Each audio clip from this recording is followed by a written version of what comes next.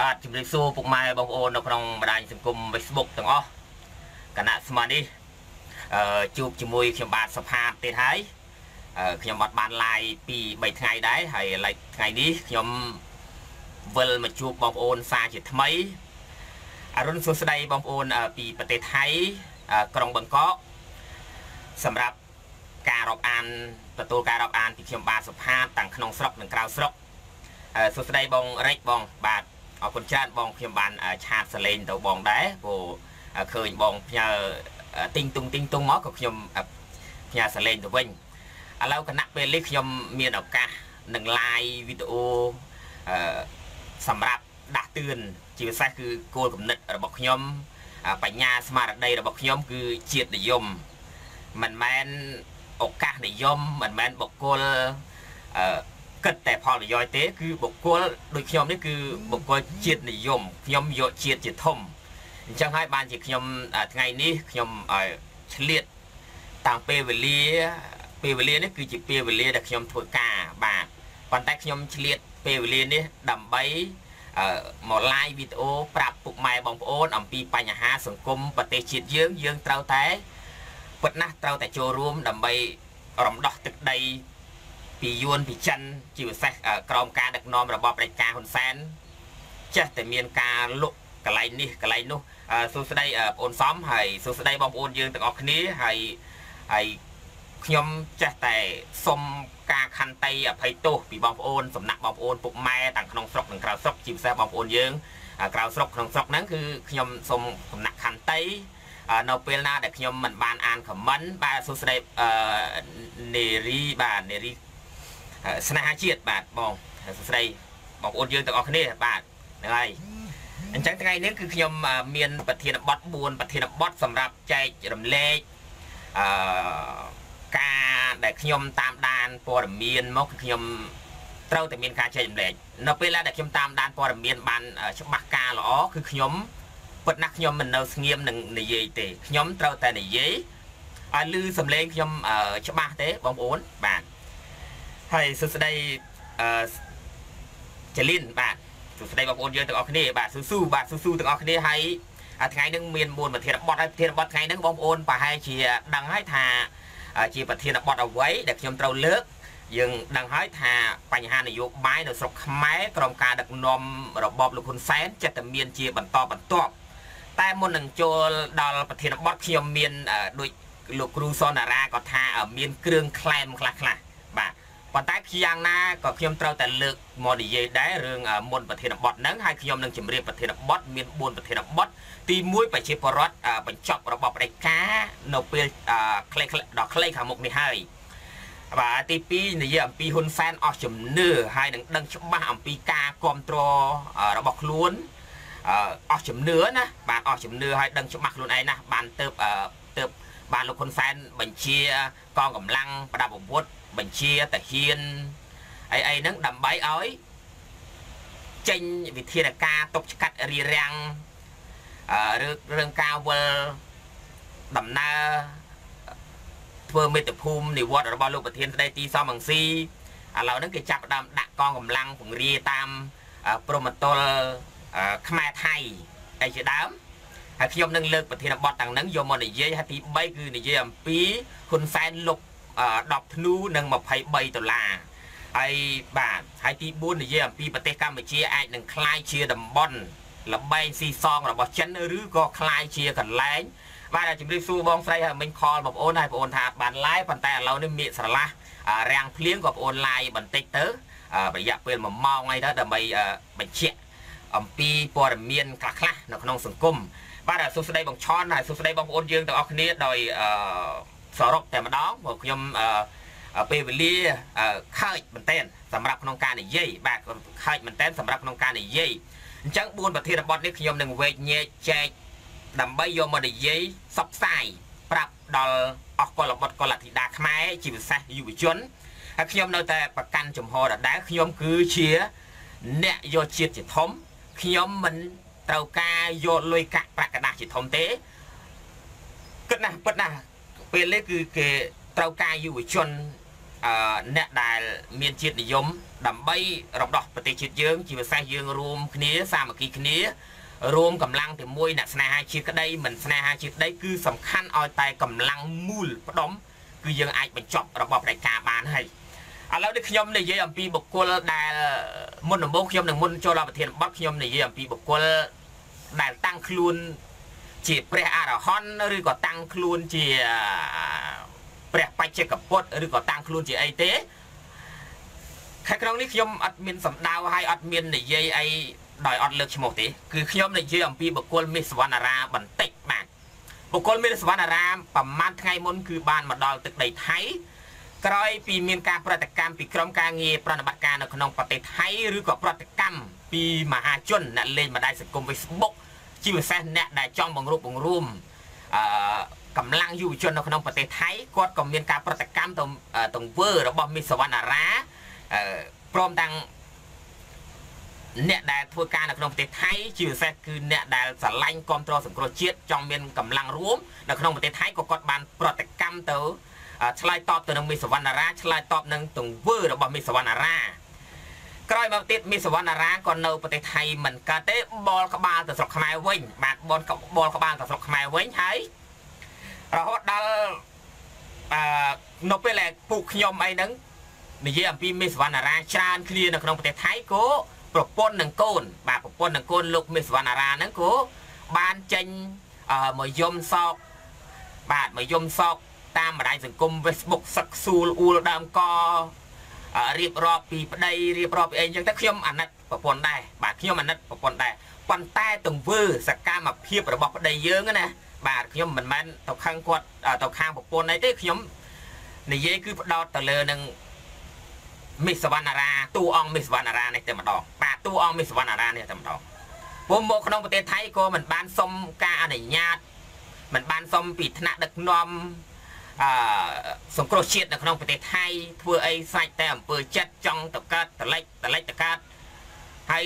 នៅពេលដែលលោកមីសវណ្ណារាទៅដល់ប្រទេសណាក៏ដោយបើលោកសំរងស៊ីលោកប្រធានសំរងស៊ីនៅបារាំងអឺមីសវណ្ណារាទៅកាណាដាអីចឹងតែដល់លោកប្រធានសំរងស៊ីទៅកាណាដាមានសវណ្ណារាទៅ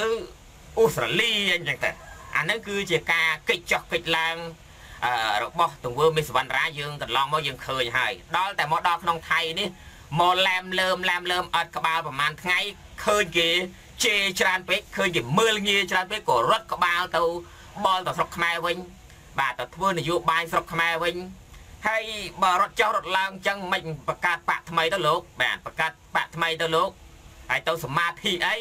ខ្ញុំគាត់ថ្ងៃហ្នឹងខ្ញុំគ្រាន់តែឃើញអាអាអារូបភាពដែលមានសវណ្ណារា សមាធិនេះខ្ញុំវាខ្មាស់គេជំនួសបាទខ្ញុំវាខ្មាស់គេជំនួសបានជាខ្ញុំនិយាយថ្ងៃនេះបាទដល់តែរត់ពីស្រុកថៃទៅទៅតាំងខ្លួនឯងជាអ្នកសមាធិមុនមុននឹងសមាធិគេធ្វើបទសម្ភាសជាមួយនឹងកសែតសានបន្ទឿនចាងវ៉ាកសែត ABC ខ្ញុំគ្រាន់តែឃើញអូទៅទៅមែនតើទៅមែនតើដកខ្លួនមិនរួចហើយដល់តែអាបទសម្ភាសហ្នឹងគេអត់មាននិយាយអីច្រើនគេនិយាយ អឺលោកចាងវាងកសែតនឹងសួរអំពីដូចជាតាក់ទិនទៅនឹងអឺ7មករាអញ្ចឹងទៅអត់ហ៊ានឆ្លើយទេបាទឥឡូវនេះលោកមីសវណ្ណារាព្យាយាមអត់ហ៊ានឆ្លើយទាំងអស់បាទអត់ហ៊ានឆ្លើយទាំងអស់ហើយអួតខ្លួនឯងជាអ្នកឯករាជ្យអួតខ្លួនឯងជាអ្នកក្លាហានអួតខ្លួនឯងជាអ្នកជួយជាតិអួតខ្លួនឯងជាអ្នកបង្រួបបង្រួមជាតិប៉ុន្តែនៅពេលដែលគេសួរសំណួរចាក់ដោតសំណួរសំខាន់សំខាន់តាក់ទិនទៅនឹងលោកហ៊ុនសែនផ្ដាច់ការយ៉ាងម៉េច តើលោកមីសវណ្ណារាឯងនឹងមើលឃើញរបបហ៊ុនសែននឹងយ៉ាងម៉េចយ៉ាងម៉េចនឹងអត់ហ៊ានឆ្លើយដែរថាទុកអោយហ៊ុនសែនតែហ៊ុនសែនឆ្លាតណាស់ឆ្លាតយ៉ាងម៉េចរឿងហ៊ុនសែនឆ្លាតយ៉ាងម៉េចខ្ញុំចង់សួរមីសវណ្ណារាបាទឆ្លាតយ៉ាងម៉េចបើបើលោកហ៊ុនសែនឆ្លាតមិនមែនលក់ប្រទេសមិនមែនលក់ប្រទេសកម្ពុជាឲ្យទៅចិនមិនមែនដោះដូរដើម្បីអំណាចទេមនុស្សល្ងងទេដែលដោះដូរទឹកដីមាតុភូមិរបស់ខ្លួន ដើម្បីអំណាចនោះមនុស្សល្ងងគេធ្វើអញ្ចឹងហើយរបបផ្ដាច់ការគេធ្វើអញ្ចឹងហើយមានសវណ្ណារានៅពីមុនខ្ញុំតែងតែកត់សរសើរគោរពនៅវិរភាពក្លាហានរបស់មីសវណ្ណារាខ្ញុំស្រឡាញ់ខ្ញុំស្រឡាញ់ខ្ញុំគ្រប់គ្រងណាពីមុនឡើយណាបាទបងប្អូនខ្ញុំប្រាប់ត្រង់ពីមុនឡើយគ្រាន់តែមីសវណ្ណារាចេញពីគុកខ្ញុំចេញសេចក្តីអំពាវនាវគ្រប់គ្រងមីសវណ្ណារាដែរព្រោះខ្ញុំឃើញសកម្មភាពទិសស្ដីនៃមីសវណ្ណារាហ្នឹងគឺល្អមែនទែនបាទប៉ុន្តែឥឡូវនេះគឺបែកស្លឹកបែកស្វែង មើលទៅប្រហែលជារកគ្រូមករំដោះគ្រោះឬក៏មើលយ៉ាងម៉េចក៏ទៅតាមគេហៅថាទៅតាមប្រមាញ់សាសនាណាបងប្អូនណាបាទអញ្ចឹងទៅឥឡូវនេះមានសវណ្ណារាបានទៅសមាធិខ្ញុំចង់ផ្ដាំមេសវណ្ណារាបន្តិចបាទលោកចង់ទៅសមាធិកន្លែងណាដែលគូចង់ដែលលោកចង់ទៅសមាធិ កន្លែងណាដែលលោកចង់ទៅសមាធិជាធម្មតាកាលសម័យព្រះណាបាទបងប្អូនខ្ញុំលើកពីសម័យព្រះបន្តិចកាលសម័យព្រះបើយើងបើបើព្រះអរហន្តឬក៏សាវកសាវិការបស់ទ្រង់របស់ព្រះពុទ្ធបរមគ្រូដែលយើងបរមគ្រូដំដែលយើងណាកាលនោះព្រះអង្គសមាធិក្តីព្រះអង្គដើរចង្ក្រមព្រះអង្គដើរទៅក្នុងគឺមានព្រៃគេហៅថាព្រៃមហោឋានព្រៃ ភ្នំបណ្ដាវនឹងសម័យព្រះនឹងច្រើនអត់មានណាកាប់បំផ្លាញដូចសម័យហ៊ុនសែនទេសម័យព្រះហ្នឹងណាបាទអញ្ចឹងមានព្រៃឈើសម្រាប់ធ្វើសមាធិច្រើនហើយពុទ្ធបរិស័ទសម័យនោះក៏ដឹងអញ្ចឹងទៅក៏គេកសាងវត្តអារាមឲ្យកន្លែងឲ្យព្រះអង្គគង់នៅអីអញ្ចឹងទៅហើយចុះសម័យនេះដែលមានសវណ្ណារាដែលតាំងខ្លួនឯងជាអ្នកសមាធិសមាស្អីនេះសមាធិហើយគេថតបង្ហោះ Facebook ខ្លួនឯងនឹងសមាធិសុំធអាហើយអត់អាចពេលដល់ពេលដែលខ្លួនឯងអង្គុយសមាធិឲ្យគេថតនេះអត់មានអីអៀនខ្មាស់គេបន្តិចមានសវណ្ណរាណាខ្ញុំចង់សួរមានសវណ្ណរាអត់មានអីមានសេចក្តីអៀនខ្មាស់គេបន្តិចណាសោះហើយមិនសមាធិតែអញ្ចឹងខ្ញុំធ្លាប់ដែររឿងសមាធិបើនិយាយពីប្រវត្តិខ្ញុំរឿងសមាធិខ្ញុំឆ្អែតឆ្អល់ណាបាទខ្ញុំឆ្អែតឆ្អល់ណារឿងសមាធិឥឡូវនេះបើបងប្អូនមិនជឿទៅ ទៅសួរភ្នំលាអាងតក្រៀមស្រុកបាណន់ណាបាទខាងបាណន់ណានៅលាអាងតក្រៀមខ្ញុំទៅសមាធិក្នុងរូងភ្នំអស់រយៈពេលអស់រយៈពេលមួយឆ្នាំកន្លះគ្រាន់តែសាច់ខ្ញុំសមាធិបណ្ឌបាតឆាន់បាទឆាន់មួយថ្ងៃជួនណានឹងឆាន់ថ្ងៃហ្នឹងស្អែកឡើងអត់ឆាន់ក៏មានដែរអាហ្នឹងការសមាធិរបស់ខ្ញុំហើយចំពេលនេះខ្ញុំចង់ផ្ដាំផ្ញើទៅមីសវណ្ណឡាលោកមីសវណ្ណរាបន្តិចតើលោកធ្វើសមាធិស្ងប់ទេ នៅពេលដែលប្រៃឈើលោកហ៊ុនសែនបំផ្លាញអស់តើលោកធ្វើសមាធិស្ងប់ទេនៅពេលដែលវត្តអារាមត្រូវបាននៅពេលដែលវត្តអារាមត្រូវបានคล้ายជាវត្តវត្តវត្តអារាមមួយចំនួនត្រូវបានคล้ายជាកន្លែងរកស៊ីគ្រឿងញៀនលុកដូរជួញដូរគ្រឿងញៀនអស់ទៅហើយហ្នឹងឥឡូវនេះមិនមែនថាទូទៅទាំងអស់ទេប៉ុន្តែខ្ញុំឃើញកន្លែងខ្លះដូចជាវត្ត ខ្លះនៅរាជធានីភ្នំពេញខ្លាយជាតំបន់ខ្លាយជាកន្លែងរត់ពន្ធគ្រឿងញៀនខ្លាយជាកន្លែងលាក់គ្រឿងញៀនហើយលោកទៅធ្វើសមាធិតាំងប្រជាពលរដ្ឋកំពុងតែជេរក្បាលលោកតាមពិតការជេរប្រមាថលោកការមើលងាយលោកនឹងគេចង់ឲ្យលោកនឹងវិលត្រឡប់មករួបរួមវិញកុំឲ្យលោកហ៊ុនសែនកុំឲ្យលោកហ៊ុនសែនចេះតែទិញក្បាលលោកបានបំពុកស្មារតីឲ្យបងប្អូនខ្ញុំគ្រាន់តែឃើញមេសវណ្ណរាបងប្អូនចង់ស្ដាប់មេសវណ្ណរាបន្តិចមួយថ្ងៃមួយថ្ងៃអត់មានរឿងអីទេ រឿងអីខ្មែរនិងខ្មែរមិនចេះនិយាយគ្នាបានខ្មែរមិនខ្មែរហេតុអីមិននិយាយគ្នាបាននៅតែនិយាយអាភាសាហ្នឹងនៅតែនិយាយអាពាក្យហ្នឹងដដែលដដែលខ្ញុំនិយាយប្រាប់មេសវណ្ណរាថ្ងៃហ្នឹងមេសវណ្ណរារឿងអ្នកនយោបាយតាំងពីហ៊ុនសែនហើយនឹងលោកប្រធានសំរងស៊ីលោកប្រធានសំរងស៊ីជាខ្មែរហ៊ុនសែនក៏ជាខ្មែរប៉ុន្តែគំនិតការស្ដាប់ការអនុវត្តលោកហ៊ុនសែនគឺស្ដាប់យួន ស្ដាប់យួនស្ដាប់ចិន ជាជាងស្ដាប់ខ្មែរបើអ្នកនយោបាយខ្មែរនិងខ្មែរមិនពិបាកទេប៉ុន្តែយួននិងចិនគេនៅពីក្រោយគេប្រាប់ហ៊ុនសែនធ្វើអញ្ចេះដឹកនាំអញ្ចេះបានកាន់អំណាចបានលោកហ៊ុនសែនឈួតនឹងអំណាចឈួតនឹងលៀបសការៈឈួតនឹងយុស័កឈួតសັບគ្រប់យ៉ាងទីបំផុតនៅពេលដែលអស់ជំនឿលើប្រជាពលរដ្ឋបាននាំអាវុធចូល ចាំមកខ្ញុំនឹងនិយាយដល់ប្រធានបទនេះចាំនឹងខ្ញុំនឹងនិយាយដល់ប្រធានបទនេះអញ្ចឹងខ្ញុំសូមផ្ដាំផ្ញើទៅមីសវណ្ណារាផងបាទខ្ញុំសូមផ្ដាំផ្ញើទៅមីសវណ្ណារាផងឈប់ឈួរទៅមីសវណ្ណារាបាទឈប់ឈួរទៅបើលោកឯងចង់បើកបាក់ថ្មីក៏បើកទៅបើលោកឯងចង់វិលត្រឡប់មកគ្រប់គ្រងឬក៏មកដើរតាមនយោបាយគោលការណ៍របស់គណៈបកសង្គ្រោះជាតិស្ដាប់មេស្ដាប់កោយខ្ញុំស្វាគមន៍បាទ រងចាំរៀមដៃ10រងចាំមីសវណ្ណរាមរៀមដៃ10បាទអានេះពីខ្ញុំបាទសុផាតហើយខ្ញុំក៏ឈប់ជាលោកដែរនៅពេលដែលលោកចេះដើរធ្វើម៉េចឲ្យមានការរួបរមខ្ញុំចង់ឃើញរូបភាពរួបរមអត់មានចង់ឃើញរូបភាពបែបបែបឯងហើយគូណាតែចេះខ្មាស់គេបើខ្មាស់ប្រពន្ធកូនប្រពន្ធកូនយំទឹកភ្នែកលហេមលហាមតាមបណ្ដាញសង្គម Facebook ដោយសារណាដោយសារក្បាលមីសវណ្ណរាឯងហ្នឹងហើយ ឃើញគេជេរច្រើនពេកអាណិតប្តីពេកក៏ចេញ live Facebook ទៅបាទអាណិតប្តីពេកក៏ចេញ live Facebook ទៅហើយអាណិតកូនកំមុំឯងយំតាម Facebook ខកខកខកខករឿងអីរឿងគេមើងងារប្តីរឿងគេចោតប្រកាន់ប្តីរឿងពណ៌រឿងគេលៀបចោតប្រកាន់គេថាគេលៀបពណ៌មានអាណាគេលៀបទេរឿងពណ៌គេហើយទោះបីតែគេលៀបក៏មិនប្រឡាក់យើងដែរសំខាន់ឲ្យតែបាទសំខាន់ឲ្យតែយើងនឹងវា អត់ទៅបានដែរដូចសពថ្ងៃអញ្ចឹងដូចសពថ្ងៃអញ្ចឹងណាហ៊ុនសែនលៀបពណ៌លោកប្រធានសំរងស៊ីថាលោកប្រធានសំរងស៊ីជាតនដិតជាជនក្បត់ជាតិប៉ុន្តែសំខាន់ណែឆន្ទៈប្រជាពលរដ្ឋការមើលឃើញរបស់ប្រជាពលរដ្ឋវាអត់ភ្លើដូចហ៊ុនសែនណាអត់ភ្លើដូចហ៊ុនសែនណាអត់មានជឿការញុះញង់អត់មានជឿការលៀបពណ៌របស់ហ៊ុនសែនសំរងស៊ីក្បត់ជាតិកន្លែងណាអត់ដែលបានលុក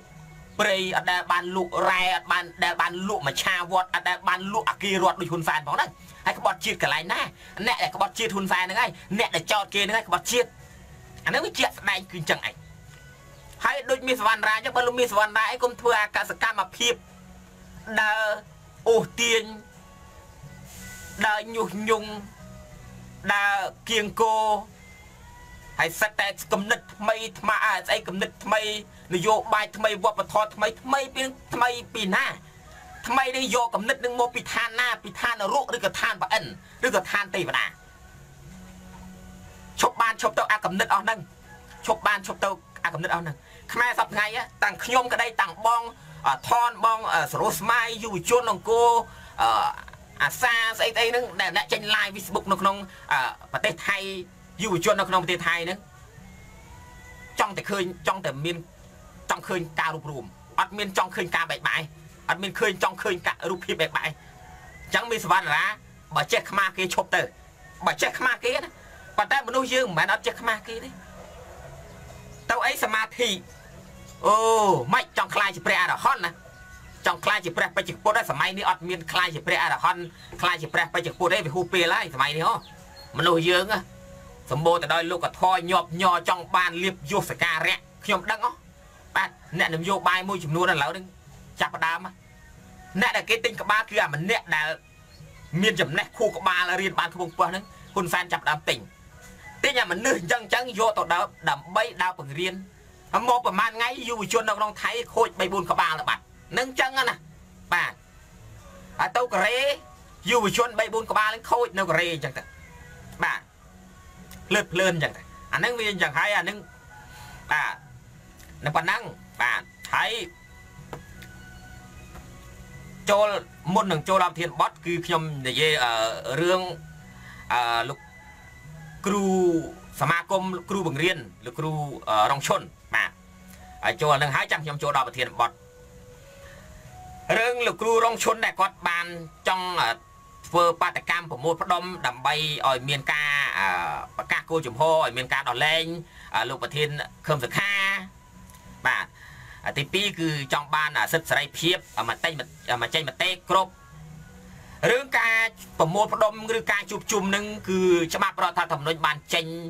ឲ្យយើងជួបជុំការប្រមូលផ្ដុំបានទាំងអស់អត់មានច្បាប់ណាហាមឃាត់ទេប៉ុន្តែមកក្រុមការដឹកនាំរបបទីក្រុងភ្នំពេញសប្ថ្ងៃនេះបិទសិទ្ធិសេរីភាពបាទបិទសិទ្ធិសេរីភាពសំបីតែយើងដឹងហើយពីប្រហែលថ្ងៃមុនខ្ញុំមើលតាមអឺ Facebook គឺឃើញ បាទកញ្ញាប៉យប៉ែតអីគេលីតានៅប៉យប៉ែតគ្រាន់តែគាត់ក្រុមបពុគាត់ទៅជួបជុំគ្នាហូបបាយដើម្បីអឺនិយាយអំពីព្រួយបារម្ភអំពីការបាត់បង់ EPA GFP បាត់បង់ពីបណ្ដាប្រទេសនេះដែលគេចាប់ផ្ដើមដាក់សម្ពាធដាក់ទណ្ឌកម្មជាបន្តបន្ទាប់ជាពិសេសគឺសេដ្ឋកិច្ចគាត់គ្រាន់តែជួបជុំគ្នាដើម្បីសម្ដែងការព្រួយបារម្ភប៉ុណ្ណឹងណា តែហ៊ានកងកម្លាំងប្រដាប់អាវុធសមត្ថកិច្ចហ្នឹងក៏ដើមចេញតាមកន្លែងគាត់ហូបបាយហ្នឹងគឺចេញទៅបាទបលិសទាហានហ្នឹងបលិស PM អីអីទៅតាមខ្ញុំថានេះហើយចឹងចឹងមកតែប្រទេសខ្មែរយើងសប្ងៃវាអញ្ចឹងអញ្ចឹងការប្រមូលផ្ដុំជួបជុំដើម្បីយើងដឹងហើយថាលោកប្រធានខឹមសិក្ខាគាត់ជាប់ទោសដោយសារអីជាប់គាត់ជាប់ទោសដែលក្រមរបបដឹកនាំរបស់ហ៊ុនសែនថាពីបត់ក្បត់ជាតិ ចង់ផ្ដួលរលំរាជរដ្ឋាភិបាលចង់ធ្វើបដិវត្តពណ៌ចង់ទម្លាក់ហ៊ុនសែនអីអញ្ចឹងតែគេចិត្តតែចោតប្រកាន់ឥឡូវមកដល់ពេលនេះគឺមិនតាន់បានដោះលែងលោកប្រធានខឹមសខាជាស្ថាពរទេដោះលែងពីបន្ទីឃុំឃាំងគុកទួលខ្លងអីក៏ដោយប៉ុន្តែមកឃុំខ្លួននៅក្នុងផ្ទះបិទសិទ្ធិសេរីភាពដោយអង្គសានជីអញ្ចឹងបាទឥឡូវនេះគឺសមាគមគ្រូបង្រៀនសិស្សានុសិស្សនិស្សិតបញ្ញវន្តនៅក្នុងស្រុកខ្មែរច្រើនណាស់រាប់ម៉ឺនរាប់លាននាក់ គាត់បើសិនតែមានសិទ្ធិសេរីភាពពេញលេញក្នុងការបញ្ចេញមតិក្នុងសិទ្ធិពេញលេញក្នុងការជួបជុំប្រមូលផ្ដុំជំរាបសួរបងប្អូនយើងទាំងអស់គ្នាម្លេះគាត់បាទម្លេះគាត់នឹងជួបជុំគ្នាទាំងគេទាំងខ្ញុំបើសិនតែហ៊ុនសែនបើកសិទ្ធិសេរីភាពពេញលេញបរិបូរខ្ញុំជួបជុំមិនមែនតិចលើកតិចសារទេរឿងនៅប្រទេសកម្ពុជានោះព្រោះក្រមការដឹកនាំរបស់លោកហ៊ុនសែនបិទសពគ្រប់បែបយ៉ាងសិទ្ធិបញ្ចេញមតិសិទ្ធិជួបជុំអីអីទាំងអស់ដែលរដ្ឋធម្មនុញ្ញបានចែង នេះខ្ញុំមិនមែនអាចរៀនច្បាប់ឯណាបងប្អូនណាបាទចង់និយាយពីច្បាប់អីបាទពីច្បាប់អីនេះសិភៅច្បាប់កម្ពីច្បាប់សិភៅធរគួលធររៀនបាទខ្ញុំរៀនហើយខ្ញុំតាមដានព័ត៌មានរៀនហ្នឹងហើយ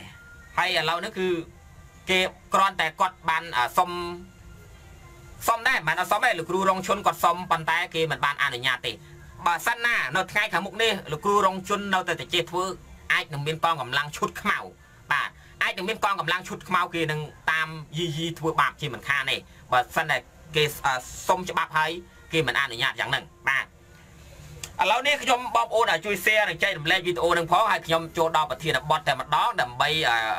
ប្រធានបទដល់4ឯណោះបាទប្រធានបទដល់4ហើយតម្រាំចប់ដល់ប្រធានបទ4នេះប្រហែលជា1ម៉ោងយ៉ាង 1ម៉ោងក៏មិនដឹងបងប្អូនណាបាទអញ្ចឹងទី1គឺខ្ញុំនិយាយអំពី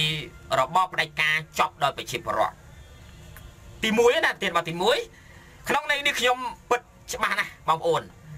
នៅលើពិភពលោកដូចជាប្រទេសវេណេស៊ុយអេឡាក្តីថ្មីថ្មីនេះយើងដឹងហើយអឺលោកម៉ាដារ៉ូអឺម៉ាដារ៉ូចនកៃដូចនកៃដូមានបកប្រឆាំងម៉ាដារ៉ូមានបកដឹកនាំរាជការ ឥឡូវនេះឮល្បីល្បាញហើយថាម៉ាម៉ាដារ៉ូត្រូវបានសហរដ្ឋអាមេរិកដឹកនាំដោយដូណាល់ត្រាំប្រធានាធិបតីដូណាល់ត្រាំបានបង្កក់ទ្រព្យសម្បត្តិលោកម៉ាដារ៉ូបាទនៅប្រទេសវេណេស៊ុយអេឡាណាបងប្អូនប្រទេសវេណេស៊ុយអេឡាបកកបកកទ្រព្យសម្បត្តិហើយឥឡូវបកកទ្រព្យសម្បត្តិបានដោយស្ថាពរហើយអាហ្នឹងអឺល្អមែនតើច្បាប់អាមេរិកដែលគេបង្កកទ្រព្យសម្បត្តិមេដឹកនាំផ្ដាច់ការ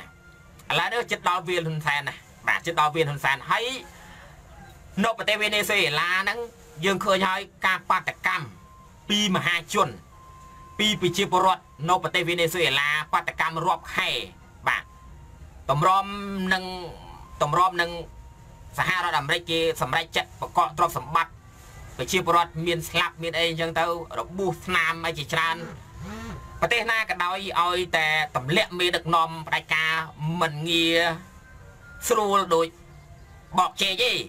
តែតែជួបនៅការលំបាកសពគ្រប់បែបយ៉ាងពីធ្វើបាតកម្មជួខ្លះរាប់ខែបាទតម្របនឹងទម្លាក់មេដឹកនាំផ្ដាច់ការបាទអញ្ចឹងទម្លាក់មេដឹកនាំផ្ដាច់ការបាននៅលើពិភពលោកអត់មានអ្នកនយោបាយទៅទម្លាក់បានស្រួលស្រួលទេពាក្យថាមេដឹកនាំផ្ដាច់ការគេមិនព្រមទេគេចង់កាន់អំណាច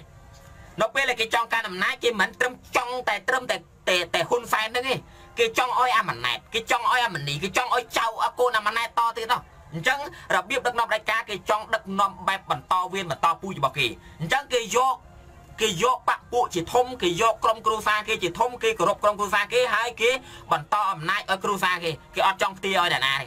អញ្ចឹងរបៀបដឹកនាំផ្ដាច់ការអញ្ចឹងហើយនៅពេលដែលមេដឹកនាំផ្ដាច់ការអញ្ចឹងបងប្អូនប្រទេសនឹងអត់មានការរីកចម្រើននេះអត់មានការរីកចម្រើននេះបាទ អញ្ចឹងបងប្អូន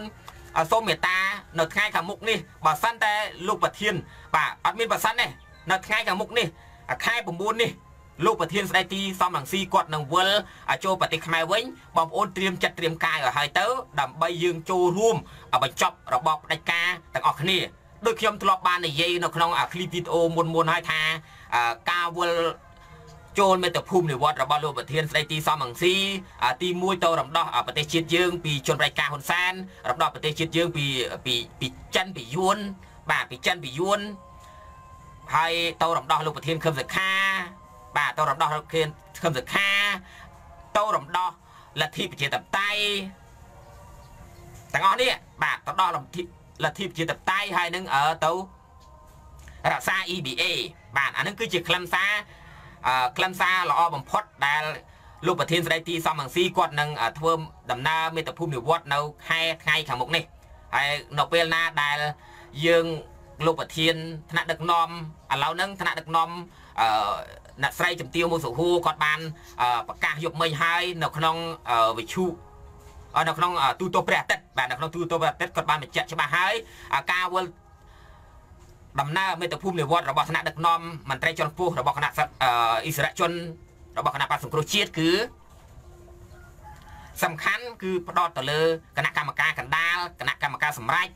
នៅពេលគណៈកម្មការនឹងសម្រេចគេនឹងកំណត់កាលបរិច្ឆេទមួយថ្ងៃពីរថ្ងៃហើយគេនឹងប្រកាសជាសាធារណៈដើម្បីឲ្យមហាជនដឹងឮទូទៅគេនឹងហើយនៅពេលដែលប្រជាពលរដ្ឋដឹងឮទូទៅពិតណាស់ប្រជាពលរដ្ឋនឹងក្រោកឈរតាំងនៅក្នុងប្រទេសថៃប្រទេសថៃរាប់ម៉ឺនរាប់លាន បាទរាប់ម៉ឺនរាប់លានអ្នកត្រៀមអមដំណើរជាពិសេសកម្លាំងពលករនៅក្នុងប្រទេសថៃច្រើនណាស់ដែលពួកយើងខ្ញុំបានប្រមូលឈ្មោះប្រមូលឯកសារពីពួកគាត់ដើម្បីវិលចូលប្រទេសខ្មែរអមដំណើរទៅជាមួយលោកប្រធានគឺច្រើនមែនតើនៅក្នុងប្រទេសថៃឥឡូវហ្នឹងគឺចិត្តដល់ពេលហើយហើយយើងបញ្ចប់របបផ្ដាច់ការបានលុះត្រាណាតែប្រជាពលរដ្ឋចូលរួមសហការគ្នារួមកម្លាំងតែមួយអានឹងយើងអាចបញ្ចប់របបផ្ដាច់ការបានអឺជាមិនខានបានប្រទេសសូដង់ ប្រទេសអាសេរីមេដឹកនាំផ្ដាច់ការនៅលើពិភពលោកសិតតែទម្លាក់បានដោយប្រជាពលរដ្ឋដោយកម្លាំងប្រជាពលរដ្ឋគ្មានកម្លាំងអ្នកនយោបាយ3 4នាក់ហ្នឹងទេកម្លាំងប្រជាពលរដ្ឋគឺជាកម្លាំងសំខាន់ណាស់ហើយកម្លាំងប្រជាពលរដ្ឋនេះក៏អាចធ្វើឲ្យហ៊ុនសែនធ្លាក់ពីអំណាចភ្លាមភ្លាមបានដែរអញ្ចឹងសំខាន់មែនទែនគឺកម្លាំងប្រជាពលរដ្ឋខ្ញុំផ្ដោតក៏លើកម្លាំងប្រជាពលរដ្ឋបាទកម្លាំងប្រជាពលរដ្ឋ អញ្ចឹងហើយមានដឹកនាំផ្ដាច់ការនៅលើពិភពលោកដែលឈរជើងមិនជាប់ដូចអាល់សេរីដូចសូដង់ដូចវេណេស៊ុយអេឡាដូចប្រទេសនានាដទៃទៀតគឺទម្លាក់ដោយប្រជាពលរដ្ឋបាទទម្លាក់ដោយប្រជាពលរដ្ឋហើយទម្លាក់ដោយប្រជាពលរដ្ឋផងហើយមានអន្តរជាតិនៅពីក្រោយដោយសពថ្ងៃយើងដឹងហើយប្រទេសវេណេស៊ុយអេឡាអាការពីមុនគ្រប់គ្រងមេដឹកនាំម៉ារ៉ារ៉ូគ្រប់គ្រងដោយចិន គ្រប់គ្រងដោយរុស្ស៊ីសូវៀតអីហ្នឹងគ្រប់គ្រងដោយប្រទេសណាដែលផ្ដាច់ការហ្នឹងគ្រប់គ្រងមេដឹកនាំម៉ាណារ៉ូហ្នឹងណាបាទវេណេស៊ុយអេឡាហ្នឹងណាឥឡូវក្រោយមកដល់ពេលដែលអាមេរិកដាក់តនកម្មដាក់អីអីជាបន្តបន្ទាប់រឿងសេដ្ឋកិច្ចសេដ្ឋអីហ្នឹងអាមេរិកវានិយាយនិយាយបើឥឡូវនេះមានអីចិនវាដកខ្លួននៅតែវ៉ាម៉ាដារ៉ូហ្នឹងឥឡូវនេះតេងតាងតេងតាងទីបំផុតចុងក្រោយនេះប្រកបទ្រព្យសម្បត្តិទៀតហើយហ៊ុនសែនមកដល់ដំណាក់កាលនេះចិត្តចិត្តចិត្តចិត្តដល់ថ្ងៃឥឡូវនេះច្បាប់ HR អឺ 500បាទ526បងប្អូនផ្លេចផ្លេចទៅហើយខ្ញុំនេះបាទហ្នឹងហើយ HR ហ្នឹងចេញមកប្រាប់ឥឡូវនេះចាប់ដើមអាហ្នឹងគឺអត្តន័យនៃច្បាប់ចេញហ្នឹងគឺនិយាយអំពីការបង្កកទ្រព្យសម្បត្តិអ្នកមាននៅស្រុកខ្មែរអ្នកដែលស្ដុកស្ដំនៅស្រុកខ្មែរហ្នឹងមហាសទ្ធិវលលៀនដែលលុយមកពីណាពីប្រភពណាខ្លះគឺចាប់ផ្ដើមធ្វើបង្កកបាទបង្កកទ្រព្យសម្បត្តិបង្កកទ្រព្យសម្បត្តិទី2គឺបិទទឹកតកាបិទវីសាមិនឲ្យជន់ទឹកដីសហរដ្ឋអាមេរិកជន់ទឹកដីប្រទេសគេ អាហ្នឹងអាហ្នឹងសំខាន់មែនតើណាបងប្អូនឥឡូវចិត្តដល់វៀនហ៊ុនសែនវៀនហ៊ុនសែនមកដល់បាទហើយបើហ៊ុនសែនមិនព្រមងាកក្រោយមិនក្រុមបែក្រោយអឺមករកផ្លូវដែលអន្តរជាតិគេប្រាប់ទេពិតណាហ៊ុនសែននឹងបរាជ័យជាបន្តបន្ទាប់ហើយហ៊ុនសែននឹងធ្លាក់ពីអំណាចនៅពេលដែលប្រជាពលរដ្ឋតាំងក្នុងស្រុកក្រៅស្រុកចង់មានការផ្លាស់ប្ដូរបាទចង់មានការផ្លាស់ប្ដូរពិតប្រាកដមានអីចប់ចប់ត្រឹមហ្នឹងហើយចាំមើលទៅ បាទចប់ត្រឹមដែលប្រជាពលរដ្ឋអឺចូលហ្នឹងបាទសួស្តីអ៊ំសុខុមបាទអ៊ំជម្រាបសួរបាទអញ្ចឹងមេដឹកនាំដៃការបញ្ចប់បានដោយប្រជាពលរដ្ឋនៅពេលដែលប្រជាពលរដ្ឋចង់មានការផ្លាស់ប្ដូរពិតប្រាកដហើយយើងដឹងហើយមកដល់ពេលនេះប្រជាពលរដ្ឋគ្រប់តំបន់គ្រប់កន្លែងគ្រប់ប្រទេសកំពុងតែតវ៉ាកំពុងតែនិយាយរឿងយោធាចិនរឿងយួនធ្វើស្ដូបធ្វើអីនៅស្រុកខ្មែរបាទ ធ្វើស្ដូបធ្វើអីនៅស្រុកខ្មែរឃើញទាំងអស់គ្នាបងប្អូនយើងត្រូវតែបញ្ចប់របបផ្ដាច់ការឲ្យខានតែបានបាទហើយទី2គឺនិយាយអំពីហ៊ុនសែនអស់ជំនឿហើយក៏ហ៊ុនសែនដឹងខ្លួនឯងច្បាស់ណាស់បាទអស់ជំនឿហើយហ៊ុនសែនក៏ដឹងខ្លួនឯងច្បាស់ណាស់ថាសពថ្ងៃនេះហ៊ុនសែនអស់មានអ្នកគ្រប់គ្រងហើយហ៊ុនសែនអស់មានអ្នកគ្រប់គ្រងហើយ នៅពេលដែលហ៊ុនសែនដឹងថាខ្លួនឯងអស់អ្នកគ្រប់គ្រងអត់មានអ្នកគ្រប់គ្រងទើបលោកហ៊ុនសែនប្រហែលថ្ងៃប្រហែលថ្ងៃប្រហែលថ្ងៃនេះហ៊ុនសែននិយាយអំពីការនាំអាវុធចូលប្រទេសខ្មែរនិយាយអំពីការនាំអាវុធចូលប្រទេសខ្មែរហើយការនាំចូលអាវុធនេះការនាំចូលអាវុធនេះគឺខ្ញុំបាននិយាយផុសនៅក្នុង Facebook ឲ្យខ្ញុំថាអាវុធនេះអត់មានទិញមកការពារជាតិទេ អត់មានទិញមកការពារប្រជាពលរដ្ឋទេគឺទិញមកការពារអំណាចបាទទិញមកការពារអំណាចពលលោកហ៊ុនសែនដឹងច្បាស់ថាប្រជាពលរដ្ឋសពថ្ងៃជុំវិញពិភពលោកនឹងស្អប់ក្បាលលោកហ៊ុនសែនទើបលោកហ៊ុនសែនដឹងខ្លួនឯងច្បាស់បានលោកហ៊ុនសែនទិញអាវុធរាប់ម៉ឺនដៅពីចិនប៉ុន្តែហ៊ុនសែនដឹងយកលុយពីណាទេបងប្អូនណាបាទប៉ុន្តែរឿងអាវុធនេះដូចសម័យពលពតអឺពលពតក៏ធ្លាប់ជំនួយ អាវុធយុទ្ធភ័ណ្ឌមកអោយពលពតដែរទីបំផុតទៅពលពតដួលបានដែររលំបានដែរវាឥឡូវនេះហ៊ុនសែនក៏ដូចតែគ្នាដែរចាំមើលទៅបងប្អូនចាំតែមើលទៅបាទចាំតែមើលទៅអញ្ចឹងហ៊ុនសែនដឹកច្បាស់ខ្លួនឯងទៅលោកហ៊ុនសែនទិញអាវុធបាទលោកហ៊ុនសែនទិញអាវុធដើម្បីមកទប់អំណាចរបស់ខ្លួនព្រោះហ៊ុនសែនឈួតនឹងអំណាចឈួតដល់ថ្នាក់កែលែងឡើង សំបីតែអន្តរជាតិគេជួយតម្រង់ផ្លូវយ៉ាងណាក៏ហ៊ុនសែននៅតែពង្ើយកន្តើយនិយាយដាក់ពាក្យត្រកោសបោកបោកទៅដល់សហរដ្ឋអាមេរិកមានមន្ត្រីមួយចំនួនរបស់ CPP មានមន្ត្រីមួយចំនួនដែលបំរើមហិច្ឆតាការលុបលុនឬក៏លងលុកនិងលៀបសការៈជាមួយនឹងហ៊ុនសែនក៏បានប្រើពាក្យភាសាអាក្រក់ទៅលើនឹងទូតខ្ញុំក៏បាននិយាយហើយថាខ្ញុំបាននិយាយឃ្លីបមុនហើយ ដូចជាអភ័យសិផានអីចឹងទៅបាទសត្វតែជាភាសាហើយប្រទេសមហាអំណាចដោយសហរដ្ឋអាមេរិកបែជាមិនទៅព្រមទៅចរចាមិនព្រមទៅនិយាយជាមួយគេដើម្បីផលចំណេញដល់ខ្មែរអត់អត់ហើយបែរទេទៅសេពគប់ជាមួយនឹងប្រទេសស្រីលង្កាដែលជាប្រទេសចម្ពាក់គេដូចខ្មែរដូចអីដែរហ្នឹងហើយប្រទេសក្រលហាមដូចជាយើងដែរហើយទៅសេពគប់ហើយចំណែកហ៊ុនសែនសុកចិត្តលះបង់ប្រទេស មហាអំណាចធំធំខ្ញុំស្ដាយមែនតើកំណត់ហ៊ុនសែនហើយអ្នកដែលគ្រប់គ្រងហ៊ុនសែនខ្ញុំសង់ផ្ដាំផ្ញើទៅអ្នកដែលគ្រប់គ្រងក្បាលលោកហ៊ុនសែននោះក្បាលអាកបីសែននោះហេតុអីក៏ភ្លឺទៅគ្រប់គ្រងហ៊ុនសែនហើយហេតុអីក៏ភ្លឺទៅកាន់ជើងលោកហ៊ុនសែនឲ្យលោកហ៊ុនសែនឆ្លោះជាមួយអាមេរិកមួយអីខ្ញុំដូចជាមិនយល់តលសោះបាទខ្ញុំដូចជាមិនយល់តលសោះលះបង់ប្រទេសមហាអំណាចធំធំលះបង់ប្រទេស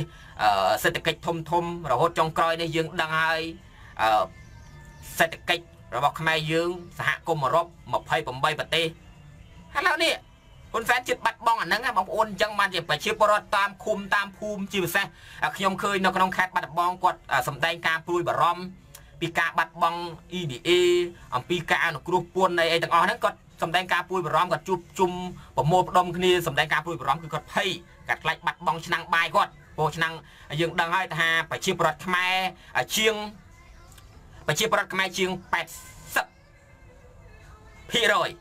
80ម៉ឺនបាទ80ម៉ឺនទៅ90ម៉ឺននាក់ហើយដែលរស់ពឹងពាក់សំណាក់អាស្រ័យទៅនឹងរោងចក្រកាត់ដេរហើយបើសិនតែការអនុគ្រោះពន្ធត្រូវបានផ្ដាច់មែនទីផ្សាររបស់ខ្មែរឬក៏រោងចក្រទាំងអស់ហ្នឹងកន្លែងខ្លះត្រូវបានបិទអាចនឹងជួបគ្រោះមហន្តរាយជាមិនខានឡើយអញ្ចឹងខ្ញុំចង់ឲ្យលោកហ៊ុនសែន បើកផ្នែកពិចារណាផងអញ្ចឹងហើយបានជាលោកហ៊ុនសែនអស់ជំនឿលើប្រជាពលរដ្ឋបានជាលោកហ៊ុនសែនទិញអាវុធបាទទិញអាវុធប៉ុន្តែបងប្អូនកុំភ័យសម័យនេះហើយគឺជាសម័យប្រព័ន្ធវិទ្យាទំនើបសម័យ Facebook បើលោកហ៊ុនសែននៅតែប្រើកំណត់គម្រាមកំហែងបងប្អូនមិនបាច់ភ័យទេហើយបងប្អូនកុំខ្លាចការគម្រាមកុំខ្លាចការសម្រុតកំឡុតយើងត្រូវតែប្រយុទ្ធប្រយុទ្ធដើម្បីប្រទេសជាតិយើងមិនមែនប្រយុទ្ធដើម្បីសផាតមិនមែនប្រយុទ្ធដើម្បីកូនសផាតមិនមែនប្រយុទ្ធដើម្បីប្រពន្ធសផាតមិនមែនប្រយុទ្ធ តែគ្នាប៉ុណ្ណឹងទេយើងប្រយុទ្ធដើម្បីរំដោះប្រទេសជាតិយើង ពីជនផ្ដាច់ការរួចហើយយើងរំដោះបានហើយបានផលទៅណាណាគឺបានផលមកយើងទាំងអស់គ្នាបានផលមកប្រជាពលរដ្ឋយើងទាំងអស់គ្នាអញ្ចឹងយើងមិនបាច់ខ្លាចការគម្រាមសម្លុតអីអីទេទេបងប្អូនត្រូវតែយើងត្រូវតែប្រយុទ្ធបន្តទៅទៀតបាទប្រយុទ្ធតទៅទៀតឥឡូវនេះហ៊ុនសែនដឹងច្បាស់ហើយបានជាលោកហ៊ុនសែនទិញតាំងអាវុធកំបញ្ជាកងកម្លាំងប្រអាវុធទៀតបាទឥឡូវនេះខ្ញុំ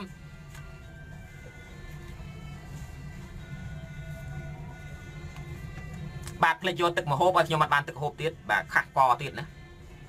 ផ្លេចផ្លេចនឹកឃើញឥឡូវនេះខ្ញុំឲ្យមើលបងប្អូនណានៅពេលដែលហ៊ុនសែនដឹងច្បាស់បាត់បង់ការគ្រប់គ្រងពីប្រជាពលរដ្ឋធ្វើនយោបាយវិជាពិភពមុនបោះឆ្នោតឥឡូវនេះចុងក្រោយទិញអាវុធចូលប្រទេសដើម្បីការពារអំណាចទោះបីដឹងថាខុសច្បាប់មិនខុសច្បាប់យ៉ាងណាក៏លោកហ៊ុនត្រូវហ៊ុនសែនត្រូវតែធ្វើដែរឥឡូវនេះខ្ញុំចង់ឲ្យបងប្អូនមើលបន្តិច ណែ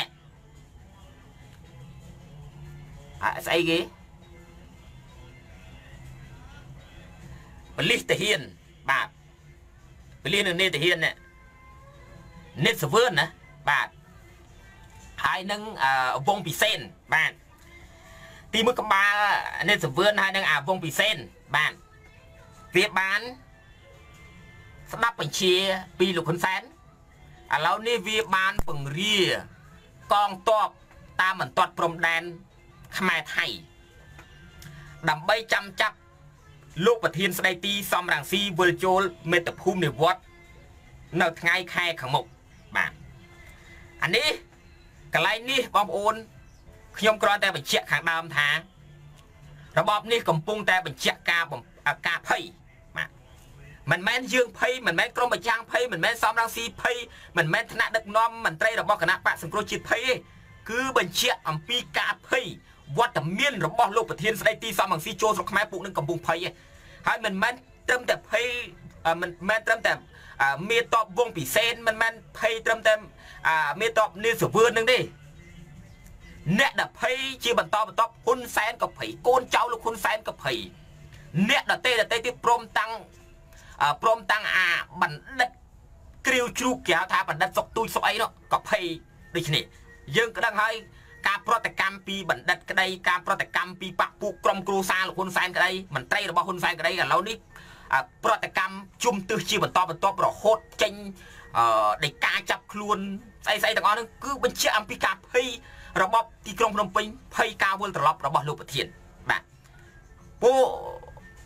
ដឹងហើយថាការ គ្រប់គ្រងរបស់គណៈបកសង្គ្រោះជាតិនៅតែមានកម្រិតខ្ពស់បាទនៅតែមានកម្រិតខ្ពស់លោកហ៊ុនសែនដឹងច្បាស់ខ្លួនឯងហ៊ុនសែនដឹងច្បាស់របបក្រុងភ្នំពេញដឹងច្បាស់ទើបឈានរំលាយគណៈបកសង្គ្រោះជាតិបាទឈានរំលាយគណៈបកសង្គ្រោះជាតិឥឡូវនេះដំណើរមាតុភូមិនិវត្តរបស់លោកប្រធាននេះ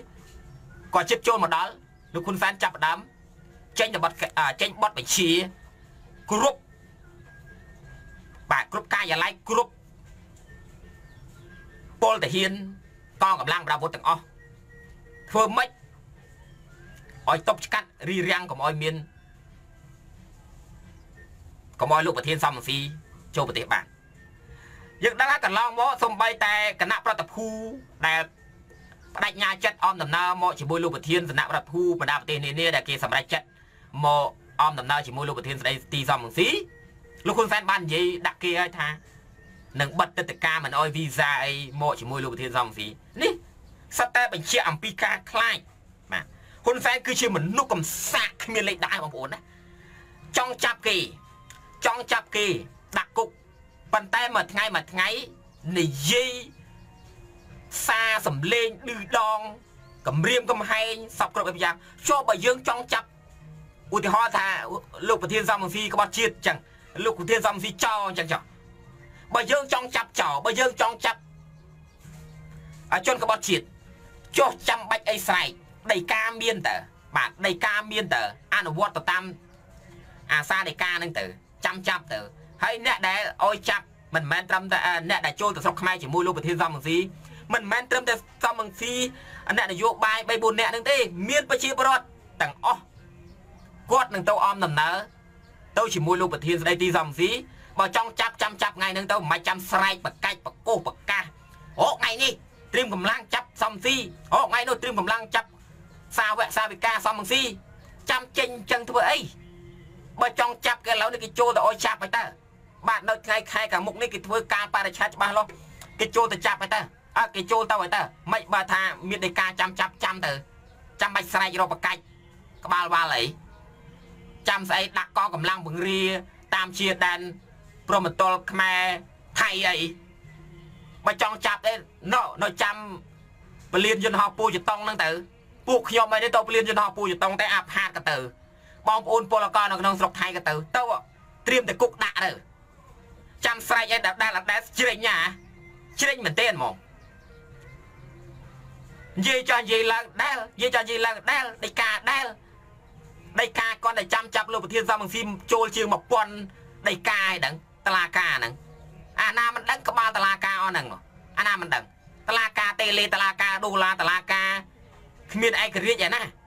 ហើយប្រជាពលរដ្ឋសប្ងៃគាត់ឈប់គោរពអាតឡាកាហ្នឹងហើយអាតឡាកាអាចគូមេហ្នឹងនោះគាត់លែងគោរពលែងមានជំនឿទៅលើតឡាកាហ្នឹងហើយសំបីតែព្រះមហាក្សត្រហ្នឹងក៏នៅក្រមអំណាចហ៊ុនសែនដែរសំងៃអូបាទនៅក្រមអំណាចហ៊ុនសែនដែរណាហ៊ុនសែនឲ្យស្វែងស្វែងហ៊ុនសែនឲ្យស្ដាំស្ដាំហ្នឹងព្រះមហាក្សត្រចុះហត្ថលេខាច្បាប់ ស្ដីពីនេះស្ដីពីនោះមិនលើលើព្រះមហាក្សត្រជាអ្នកសញ្ញេហើយឥឡូវនេះព្រះមហាក្សត្រមានអំណាចអីតឡាការមានអំណាចអីនៅលើបុគ្គលម្នាក់ហ្នឹងចង់ចាប់នរណាចង់បំផ្លាញនរណាក៏បានដែរហើយហ៊ុនសំរងស៊ីគាត់មានអីគាត់មានអាវុធយុទ្ធភ័ណ្ឌណែណាទៅអុយនឹងមិនកភេម៉េះខ្លាយគាត់ម៉េះចាំស្រែកទៅបកាច់អីមិនតចង់ចាប់ចាប់ទៅចាប់គាត់ទៅចាប់សាវកសាវិកាគាត់ទៅគាត់ទៅតែថ្ងៃថ្ងៃមុខនេះគាត់ទៅ គាត់មិននៅទេទេគាត់មិននៅស្រុកបារាំងសយសុកអីទេទេព្រោះប្រទេសខ្មែរត្រូវការប្រជាពលរដ្ឋខ្មែររាប់លានអ្នកត្រូវការលោកប្រធានសំស៊ីមកដឹកនាំត្រូវការលោកប្រធានសំស៊ីវិលចូលប្រទេសខ្មែរបើគាត់មិនទៅអម៉េចប្រទេសជាតិធ្លាក់ទៅលើចិនពាក់កដាលប្រទេសជាតិធ្លាក់ទៅលើយួនពាក់កដាលហ្នឹងក្តោបក្តាប់តំបន់កាត់តំបន់យោធារបស់ចិននៅលើទឹកដីខ្មែរតែហើយហ្នឹងរឿងអីដែលគាត់មិនត្រូវ ត្រូវទៅទៅគាត់ត្រូវទៅទៅហើយប្រជាពលរដ្ឋរងចាំថ្ងៃហ្នឹងដូចខ្ញុំអញ្ចឹងបាទនៅរងចាំថ្ងៃហ្នឹងរងចាំជានិច្ចការវិលត្រឡប់របស់លោកប្រធានស្ដីទីសំស៊ីរងចាំជានិច្ចបាទនៅពេលដែលគាត់ប្រកាសភ្លាមខ្ញុំត្រៀមកម្លាំងភ្លាមលុយកាក់ប្រាក់កណ្ដាស់របស់ខ្ញុំខ្ញុំត្រៀមទុកអស់ហើយសម្រាប់ការអមដំណើរហើយខ្ញុំយកមិនក៏បានចូលបទសម្ភាសជាមួយនឹងអាស៊ីសេរីដែរគោលចំហរបស់ពលករនៅក្នុងប្រទេសថៃនៅជាចំហច្បាស់រឹងមាំដដែលអត់មានងាករេតណាទេ បាទខ្ញុំអត់ក្បត់ជាតិខេមរារបស់ខ្ញុំទេមេត្តាភូមិរបស់ខ្ញុំត្រូវការខ្ញុំមេត្តាភូមិរបស់ខ្ញុំត្រូវការពួកយើងទាំងអស់គ្នាអញ្ចឹងយើងត្រូវតែបដូរបដិបដិញ្ញាចិត្តទោះបីជាប់គុកជាប់ច្បាប់ក៏ទៅដែរហើយចាំបាច់លោកឯងអីចេញស្អីពង្រាយកងកម្លាំងហើយពង្រាយពីឡូវហ្នឹងគេដឹងច្បាស់ហើយថាគេទៅខែណាពង្រាយពីឡូវអស់លុយបងប្អូនគិតមើលមែនតើណាគណៈបព្វជិជនចំណាយអាលុយអញ្ចឹងណាហើយតែការឡារៀប រៀបកម្លាំងកងកម្លាំងដាវុធតាមជាតិដែរជាធម្មតាទេបងប្អូនលុយកាក់ចំណាយទៅនឹងហើយមីអង្គអំបិលវិជែងឆ្កពហុជំនួយអានដូចយើងទៅធ្វើសង្គ្រាមអញ្ចឹងណាបាទរឿងកងកម្លាំងចល័តតបតាមច្រកជាតិដែនចាំចាប់អីចាំធ្វើអីមិនចាំចាំចាប់ខ្មែរគ្នាឯងចូលស្រុកយេពួកអត់នេះអត់ការងារធ្វើមែនវៃពួកអាអាអត់កំណើតពួកឯងនេះអត់កំណើតមែន យួនចេញពីពេញប្រទេសមិននាំគ្នាបលក្បាលគ្នាទៅចាប់មកចាំចាប់អាខ្មែរចំណាក់ស្រុកមកចាំចាប់អាពលកពលកគាត់ទៅហើយគាត់ស្រឡាញ់គាត់គ្រប់ត្រូលអាណាគាត់គ្រប់ត្រូលសំស៊ីគាត់ទៅទៅជាមួយសំស៊ីដូចបាក់ពួកសាវកហ៊ុនសែនឯងអញ្ចឹងពេលលោកហ៊ុនសែនឯងទៅប្រជុំវាតកាម្ដងម្ដងហ្នឹងឆ្មានតែអស់លុយតិចគាត់តែសាវកហែហមអមដំណើរលុចស៊ីឡង់កសើ CLV ស្អីស្អីអស់ហ្នឹងបានតែឡានអស់ហ្នឹងចាក់ចាក់ទឹកចាក់សាំងចាក់ប្រេង គ្រាន់តែផឹកទឹកសតតែម្នាក់ម្ដងហ្នឹងកផ្សាវៈសាវិការរបស់ពូលោកឯងហ្នឹងក៏មិនតិចក្បាលហើយណាខ្ញុំមិនចង់ប្រើភាកាយទេក៏ភ្លើមែពួកអត់កំណើតបើចង់ចាប់ឯងងាប់អាដាក់តាំងពីថ្ងៃនេះប្រជាពលរដ្ឋជប់ខ្លាចហើយពួកពួកឯងនេះគុំគិតគ្នាលុកប្រទេសជាតិឲ្យតែបរទេសបើខ្លាចពួកឯងនឹងខ្លាចជាជនជាតិភៀតតិចរស់នៅលើទឹកដីកំណត់ វេទនាមិនអនាគតទៅវេទនាកូនចៅអញវេទនាអេត្រូវតែក្លាហានទាំងអស់គ្នាបងប្អូនចេញមុខប្រឈមមុខនឹងរបបផ្ដាច់ការទាំងអស់គ្នាបាទត្រូវតែហ៊ាននិយាយត្រូវតែហ៊ានធ្វើត្រូវតែហ៊ានសៀត្រូវតែហ៊ានឡាច់ហើយការសៀនេះបងប្អូនខ្ញុំគ្រាន់តែប្រាប់ការសៀនេះដូចជាយើងបើយើងមិនហ៊ាននិយាយក៏ដោយយើងជួយសៀអានេះយើងជួយសៀក៏ដូចជួយជាតិយើងដែរជួយសៀក៏ដូចជួយជាតិដែរយើងកុំប្រកាន់អាស្មេវិនះរឹងរូសប្រកាន់ ចេះប្រកាន់ចុះមើលដំណាំគ្នាមិនបាច់មើលទេជួយ share គ្នា ជួយលើកតម្កើងគ្នាជួយលើកកម្ពស់គ្នាតែការឡា share អាហ្នឹងហើយគឺជាការចែករំលែកនៅចំណេះដឹងទូទៅដល់ប្រជាពលរដ្ឋខ្មែរឲ្យចេះក្រោកឈរតតាំងនឹងរបបផ្ដាច់ការទាំងអស់គ្នាបើយើងមិនតតាំងយើងមិនប្រឈោថ្ងៃណាមួយខែណាមួយប្រទេសខ្មែរមិនខុសអីនឹងប្រទេសចម្ប៉ាចាមយើងដឹងហើយជនជាតិចាមក្រោយពីបាត់ប្រទេសយើងឃើញហើយប្រហែលថ្ងៃនេះឃើញ ហើយស្ត្រីម្នាក់យំទឹកភ្នែកលហេមលហាមធ្វើការនៅប្រទេសគេធ្វើទុកបុកបណ្ឌិតបង្អិតបាយធ្វើការនៅស្រុកគេនេះជនជាតិចាមនៅអញ្ចឹងណាខ្មែរយើងអនាគតដូចគ្នាបើខ្មែរយើងខ្ញុំបាននិយាយថាកម្ពុជាក្រមគេយកបានកម្ពុជាលើគេយកបានចុះរឿងអីកម្ពុជាកណ្ដាលគេយកមិនបានគេយកតតែបានគេដាក់ស្ថាប័នខ្មែរស្ថាប័នពលិទាហានមន្ត្រី នៅស្រុកខ្មែរឥឡូវគេសៀតសោកស្ថាប័នមួយចំនួនសៀតសោកក្បាលយួនអស់ហើយខ្មែរនៅមិនដឹងខ្លួនទៀតហ៎យើងមើលស្ដោបយួនមើលយើងមើលស្ដោបយួនមើលនៅតាមខេត្តនីមួយៗស្ដោបពេញប្រទេសហ្នឹងតែស្ដោបយួនដល់ណាដីវាដល់ហ្នឹងហើយអានឹងបញ្ជាក់អញ្ចឹងស្ដោបយើងស្ដោបយួនដល់ណាដីវាដល់ហ្នឹងហើយទឹកដីវាដល់ហ្នឹងហើយវាបង្រៀនកូនចៅវាដល់ហ្នឹងហើយវាបង្រៀនកូនចៅវាអត់ដឹងហើ យស្អីគេវាមានឈ្នះឈ្នះអាចឈ្នះស្អីឈ្នះខ្មែរណាមិនឈ្នះយួនឈ្នះចិនណាឈ្នះខ្មែរណាហើយមើលសម្ដីហ៊ុនសែនឡើងលើវេទិកាម្ដងម្ដងមើលបងប្អូនស្ដាប់មានដែលនិយាយគោលការណ៍ប្រឆាំងយួនណាមានដៃនិយាយអំពីប្រឆាំងយួនឆ្លៀនពៀនអំពីចិនពីអីទេពីជនអន្តរប្រវេសអីទេនិយាយឡើងវេទិកាម្ដងម្ដងកំតិចអានេះកំតិចអានោះហើយកំតិចនឹងកំតិចណាកំតិចមកលើក្រមប្រឆាំងខ្មែរគ្នាឯងហ្នឹង ហើយតែមេទៅធ្វើមេដឹកនាំមួយថ្ងៃមួយថ្ងៃគិតទៅកំណត់អញ្ចឹងអញ្ចឹងទៅដឹកនាំមិនទៅដឹកនាំមិនហ៎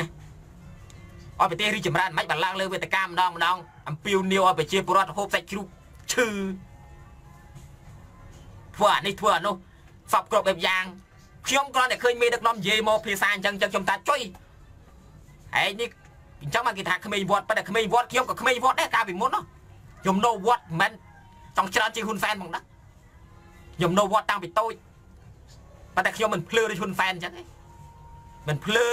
ចង់បានអំណាច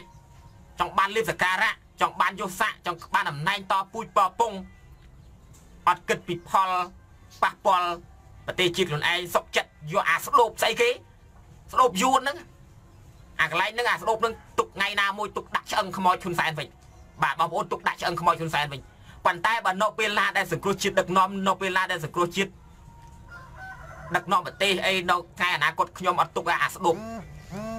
អាស្ដុបអាហ្នឹងគឺជាតំណាងអត់ប្រទេសខ្មែរលានឹងខ្ញុំនឹង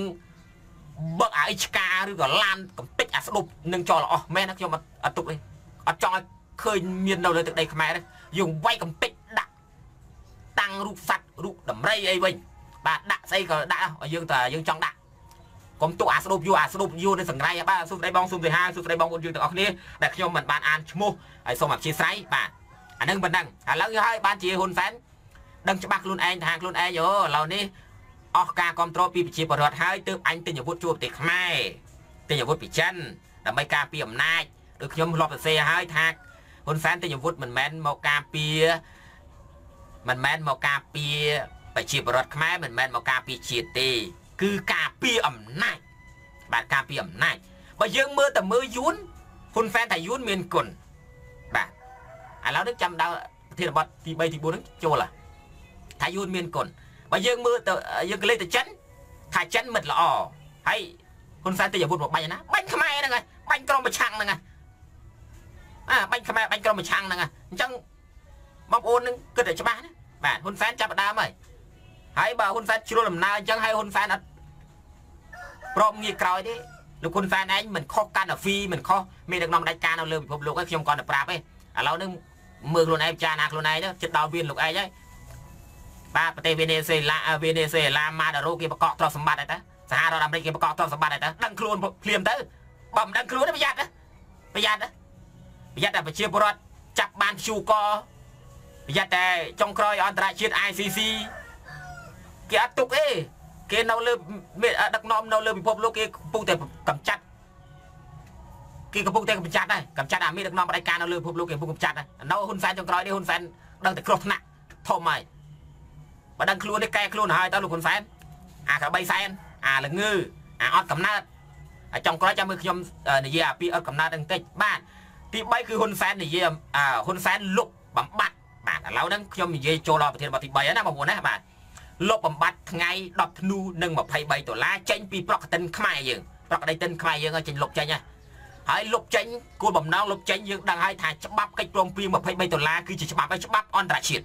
ច្បាប់អន្តរជាតិដែលគេចុះកិច្ចព្រមព្រៀងជាមួយនឹងហ៊ុនសែនផងហើយផងហើយជាមួយនឹងបណ្ដាប្រទេសនានាផងគេចុះកិច្ចព្រមព្រៀងដើម្បីការពារពរណភាពទឹកដីខ្មែរហើយចុះរឿងអីហេតុអីបានជាហ៊ុនសែនលុបចោលរំលាយចោលនៅច្បាប់23ដុល្លារ ហើយនឹង2ធ្នូដែលជាទីវាពលកម្មអន្តរជាតិអីនេះហេតុអីក៏លោកហ៊ុនសែនលុបចោលបងប្អូនមើលគោលបំណងរបស់ហ៊ុនសែនហ៊ុនសែនលុបចោលបំបត្តិចោលទេបញ្ជាក់ច្បាស់ណាស់ថាហ៊ុនសែនដឹកនាំទៅរកភាពដាច់ការហើយហ៊ុនសែនលំអាងអាងយួនចិននៅក្រោយឥឡូវនេះហ៊ុនសែនអាងយួនចិននៅក្រោយហើយហ៊ុនសែនលែងស្ដាប់អន្តរជាតិតែហ៊ុនសែនហ៊ានលុបប៉ុណ្ណេះគឺអ្វីដល់តែតែហ៊ុនសែនអាចនឹងហ៊ានលុបទាំងអស់ចាំមើលច្បាប់រដ្ឋធម្មនុញ្ញក៏ហ៊ុនសែនហ៊ានលុបដែរ ហ៊ុនសែនលៀបហ៊ានលុបច្បាប់23ដុល្លារក៏ហ៊ុនសែនអាចហ៊ានលុបច្បាប់រដ្ឋធម្មនុញ្ញដែរបើមិនលុបទាំងស្រុងក៏លោកហ៊ុនសែនកែដែរនេះប្រយ័ត្នតែមែនតើណាបងប្អូនច្បាប់រដ្ឋធម្មនុញ្ញគឺជាច្បាប់របស់ខ្មែរដែលបានចេញមកដើម្បីច្បាប់បើយើងគោរពច្បាប់ច្បាប់ការពារយើងបើយើងមិនគោរពច្បាប់បើយើងមិនគោរពច្បាប់គេនឹងអាចបតឡាការឯករាជ្យគេអនុវត្តតាមច្បាប់ ប៉ុន្តែតឡាការសប្ថ្ងៃនេះអាចឆ្កែសតដែរបងប្អូនតឡាការសប្ថ្ងៃដូចតឡាការគូអញ្ចឹងណាបាទហ៊ុនសែនបជាស្វែងស្វែងស្ដាំស្ដាំអញ្ចឹងបងប្អូនយើងមិនបាច់បាច់ចាំជឿតឡាការណាឥឡូវនេះហ៊ុនសែនលុប10ធ្នូលុប23ដុល្លារចប់ឲ្យយើងបាទចប់ឲ្យយើងហើយនៅបើសិនតែយើងបដែបដោយឲ្យហ៊ុនសែនចិត្តតែធ្វើទង្វើព្រៃសៃ លុបអានេះលុបអានោះបំបត្តិអានេះបំបត្តិអានោះជាបន្តបន្តទេខ្មែរយើងថ្ងៃណាមួយគេលុបច្បាប់រដ្ឋធម្មនុញ្ញហើយថ្ងៃណាមួយក៏ហ៊ុនសែនអាចហ៊ានរំលាយស្ថាប័នព្រះមហាក្សត្រដែរបើសិនតែហ៊ុនសែនហ៊ានលុបលុបជាបន្តបន្តជាហើយហ៊ុនសែនអាចទៅឈានលុបច្បាប់រដ្ឋធម្មនុញ្ញថ្ងៃក្រោយក៏ហ៊ុនសែនអាចរំលាយស្ថាប័នព្រះមហាក្សត្រចោលដែរហើយព្រះមហាក្សត្រនៅនឹងហើយអត់ព្រមចេញវិធានការខ្លះទេហើយព្រះមហាក្សត្រនេះបាទវិធានការខ្លះទេ នៅញប់ញប់ខ្លាចដូចសេកក្នុងទ្រុងខ្ញុំមិនចង់ពាក់ព័ន្ធនឹងព្រះមហាក្សត្រទេបាទអានឹងទុកឲ្យបងប្អូនខ្មែរយើងវិនតែឆៃទៅរឿងទូអង្គព្រះមហាក្សត្រច្បាប់បានចែងហើយមិនឲ្យអ្នកណាមួយប៉ះពាល់បានទេប៉ុន្តែឥឡូវនេះខ្ញុំចង់និយាយថ្ងៃនេះអាលុបមក10ធ្នូនេះទីវាពលកម្មអន្តរជាតិទីវាសិទ្ធិនារីស្អីស្អីទាំងអស់នេះហើយ23ដុល្លារអីនេះសិតតែច្បាប់កិច្ចព្រមព្រៀងជាមួយប្រទេសគេនេះ រឿងជាពិសេសសំខាន់មែនតើគឺពរណភាពទឹកដីយើងមានច្បាប់នឹងអត់មានណាបំលុបបំពេញបានទេយើងអាចប្តឹងទឹកដីយើងបាត់បង់ដូចទឹកដីកម្ពុជាក្រមកោះត្រល់ក៏អីនេះយើងអាចប្តឹងទៅគេទៅគេជួយអន្តរាគមបាទសួស្ដីបងណែតបងសួស្ដីបងសុខសប្បាយអត់បងហ្នឹងហើយបងថ្ងៃនេះចេញ live បន្តិចខាន live ពីរថ្ងៃដែរហើយយកមិញអរគុណដែរដល់អាស៊ីសេរីបានចូលបទសម្ភាសជាមួយអាស៊ីសេរីតាក់ទិនទៅនឹងគោចំហពលករនៅក្នុងប្រទេសថៃខ្ញុំក៏បានធ្វើបទសម្ភាស ហើយឲ្យបងអូនសម្បូរកាត់កន្លែងហ្នឹងយកមកផុសសារជាថ្មីហើយបងអូនសម្បូរមិនតនេអត់បងអូនជួយកាត់វីដេអូហ្នឹងបន្តិចបាទហ្នឹងហើយហើយឡូវលុបហើយលុបបំបត្តិ23ដុល្លារហ្នឹង10ធ្នូនឹងរួចដាក់បញ្ចូលថ្ងៃកំណត់អាចយយួនទៅវិញមកបាទ7មករាទៅវិញខ្ញុំវាខឹងខ្លាំងរឿងដាក់ដាក់អាថ្ងៃ7មករាចូលនៅក្នុងប្រកដីតិនឬក៏បញ្ចូល ជាជាប៉ុនជាតិឬក៏ជាប៉ុនស្អីគេនេះ7មករាហើយខ្ញុំធ្លាប់បាននិយាយហើយ7មករាគឺជាថ្ងៃដែលយួនឈ្លានពាន7មករាគឺជាថ្ងៃដែលខ្មែរស្លាប់រនីលពេញដីថ្ងៃ7មករាគឺជាថ្ងៃដែលយួនចូលមកលៀបត្របាក់ទឹកដីខ្មែរយួនឆ្លូលចូលមកឆ្លៀនពៀនយួនចូលមកកាប់សម្លាប់ខ្មែរយ៉ាងប្រៃសៃបំផុតហើយឥឡូវនេះបែរជាក្រុមបាក់ពួកលោកហ៊ុនសែន គេហៅថាទីវាចងកំហឹងជាមួយប្រជាពលរដ្ឋដូចអឺលោកបណ្ឌិតកឹមសុកគាត់និយាយហើយគេថាទីវាចងកំហឹងជាមួយពលរដ្ឋដោយសារតែតបស្នងសងគុណអ្នកមានគុណរបស់ហ៊ុនសែនគឺយួនបែរជាចង់ដឹងគុណហើយយកខ្មែរមួយចំនួនខ្លះប្រភ្លីប្រភ្លើបលង្កាអាខ្លះគូក្បាលឡើងកញ្ចាស់កញ្ចាស់អស់ហើយនៅអត់ដឹងខ្យល់អីថាថ្ងៃ7មករានឹងជាថ្ងៃអីថ្ងៃ7មករានេះបើមិនដឹងទេសួរអាសផាតបើមិនដឹងទេសួរអាសផាតនេះអាសផាត មិនកើតសម័យនឹងទាន់ទេប៉ុន្តែសផាតដឹងច្បាស់ណាថាថ្ងៃ7មករាគឺជាថ្ងៃដែលយួនឈ្លានពានថ្ងៃ7មករាគឺជាថ្ងៃដែលចោយួនមកសកាប់សម្រាប់ខ្មែរបាទហើយមិនចង់ដាក់នៅថ្ងៃនឹងថ្ងៃស្អីអាស្ដោបយួនពេញប្រទេសប៉ុណ្ណឹងហើយមិនអស់ចិត្តទៀតឬចង់ដាក់7មករាចូលជាមិនចង់ដាក់7មករាចូលជាសម្បត្តិបតិកភណ្ឌពិភពលោកលោកហ៊ុនសែន បើថាដឹងគុណដឹងតែក្បាលពូឯងម៉ានអ្នកនៅកូនឯងនាំអាម៉ាណែតអាមនីអាម៉ានិតមានម៉ានអ្នកក្បាលម៉ានក្បាលលើបាក់ពូគ្រូសានាំសេយសានផៃសិផានពួកប្រមាណក្បាលហ្នឹងទៅដឹងគុណ7មករាទៅពួកឯងពេលដល់ខែដល់ថ្ងៃទៅគ្រប់នៅយួនហ្នឹងក៏មកគ្រប់ទឹកដីខ្មែរអញមិនទទួលស្គាល់ទេរឿង7មករាហ្នឹងគាត់ឯងក៏ម៉េចចង់ពំពុកគូក្បាលខ្មែរឲ្យដឹងគុណយួនដឹងគុណប្រកាច់អីបើខ្មែរងាប់ដោយសារស្នាដៃយួននឹងមិនចេះតិចមិនចេះហើយ សំបីតែយើងដឹងហើយរឿងខ្មែរក្រហមពលពតបើអីសិតតែតេតិននឹងយួននឹងចិនទាំងអស់កាប់សម្លាប់ដំនេះរំគៀលខ្មែរចង់ដាច់ពូជសាសខ្មែរអាម៉េចឥឡូវនេះចង់មកដឹងគុណចោចង់មកដឹងគុណមានឃាតកទៀតឃាតកទៅយួននឹងឃាតកទៅអាណាណែស្ដាប់បញ្ជីហ៊ុនសែនឃាតកធំជាងគេទៀតនៅក្នុងស្រុកខ្មែរយួនខ្ចីដៃហ៊ុនសែនហ៊ុនបញ្ជីហ៊ុនសែន យួនណាបញ្ជីហ៊ុនសែនខ្ចីដៃហ៊ុនសែនធ្វើកាប់សម្លាប់ឥឡូវនេះយើងដឹងហើយយុទ្ធសាស្ត្ររបស់ហ៊ុនសែនចុងក្រោយធ្វើអីខ្លះបំបត្តិក្រុមប្រឆាំងហើយតកាឡាបំបត្តិក្រុមប្រឆាំងបានណាបងប្អូនរឿងអីក៏គេធ្វើបានរដ្ឋធម្មនុញ្ញច្បាប់នៅក្នុងសភារដ្ឋសភា ជាធម្មតាសភាវាមិនមែនសភាតំណាងឲ្យបាក់ទេសភាតំណាងឲ្យប្រជាពលរដ្ឋទូទាំងប្រទេស មិនមែនសភាតំណាងឲ្យក្រមប្រជាពលរដ្ឋក្រមប្រជាពលរដ្ឋ3 4នាក់ហ្នឹងទេសភាតំណាងឲ្យប្រជាពលរដ្ឋមិនមែនសភាតំណាងឲ្យបាក់សពថ្ងៃសពថ្ងៃនេះសភាតំណាងឲ្យបាក់ទៅហើយនៅពេលដែលសភាតំណាងឲ្យបាក់ធ្វើច្បាប់រដ្ឋធម្មនុញ្ញធ្វើវិសោធនកម្មច្បាប់ច្បាប់អំពីអីច្បាប់អំពីការរំលាយគណៈបក្សសង្គ្រោះជាតិគេធ្វើភឹងអានេះសភាតំណាងតំណាងបាក់មិនមែនសភាតំណាងឲ្យប្រជាពលរដ្ឋមិនគ្រប់ទេបងប្អូនចាប់ពីថ្ងៃនេះទៅមិនគ្រប់សភាសភុញស្អីស្អីអស់ហ្នឹងទេ តឡាការហ្នឹងពាក្យមានគ្មានបានអាចគូមេមកវិញទេបាទមានបានអាចគូមេពួកនេះបាទវាធ្វើអ្វីអ្វីដើម្បីដាក់បន្ទុកប្រឆាំងក្រុមប្រឆាំងវាចាត់ទុកក្រុមប្រឆាំងដូចជាសត្រូវអញ្ចឹងណាបងប្អូនណាបាទដូចជាសត្រូវអូក្រុមប្រឆាំងក្រុមប្រឆាំងមិនអោយទេមិនអោយយួនឆ្លៀនពៀនបានទេឥឡូវនេះកំពុងហើយកំពុងធ្វើក្រុមប្រឆាំង បាទជាភាសាថ្នាក់ដឹកនាំមន្ត្រីថ្នាក់ដឹកនាំ CNRPO ថ្នាក់ដឹកនាំមន្ត្រីជាន់ខ្ពស់អិសរាជជនជាភាសា CNRPO ហ្នឹងគឺតំណាក់តំណងជាមួយកិច្ចការទូតដើម្បីឲ្យអន្តរជាតិគេជួយអន្តរាគមជួយខ្មែរព្រោះខ្មែរពេលនេះ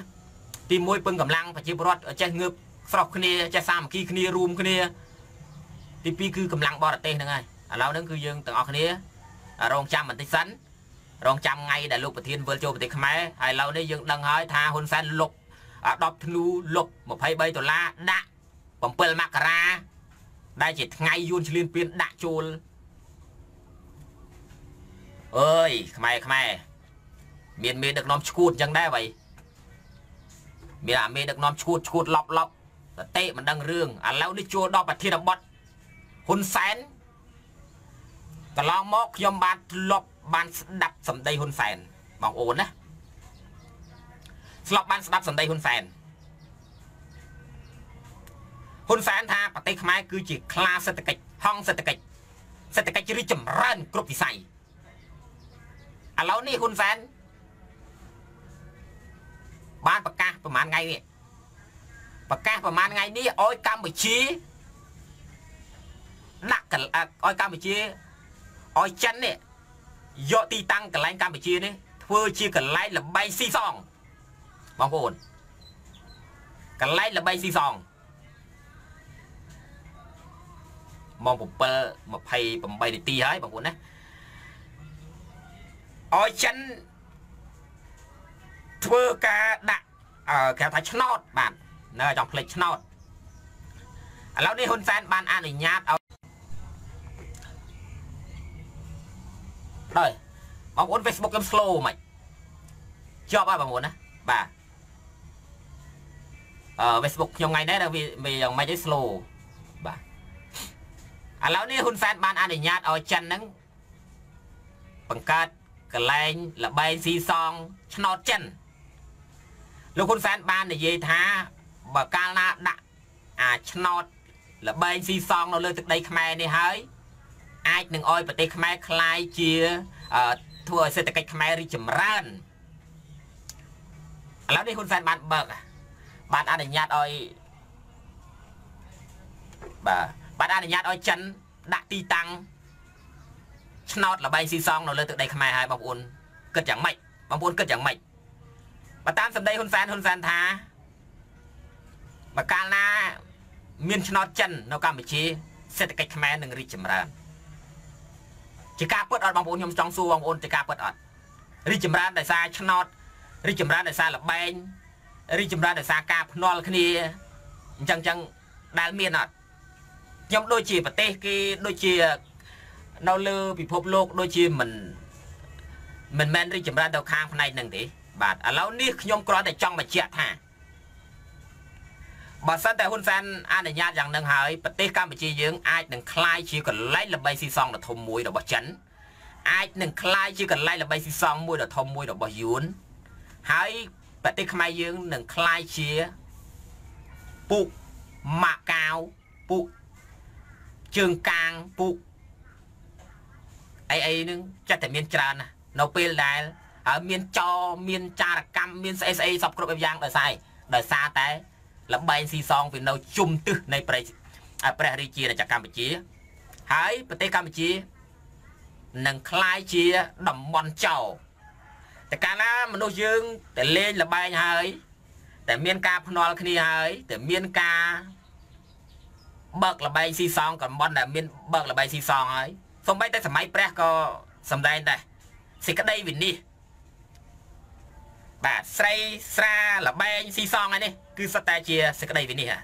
អាហ្នឹងដែលធ្វើឲ្យមនុស្សយើងវិនិច្ឆ័យមនុស្សយើងអន្តរាយទ្រព្យសម្បត្តិធនធានគឺអាលបែងស៊ីសងនេះសំខាន់ណាស់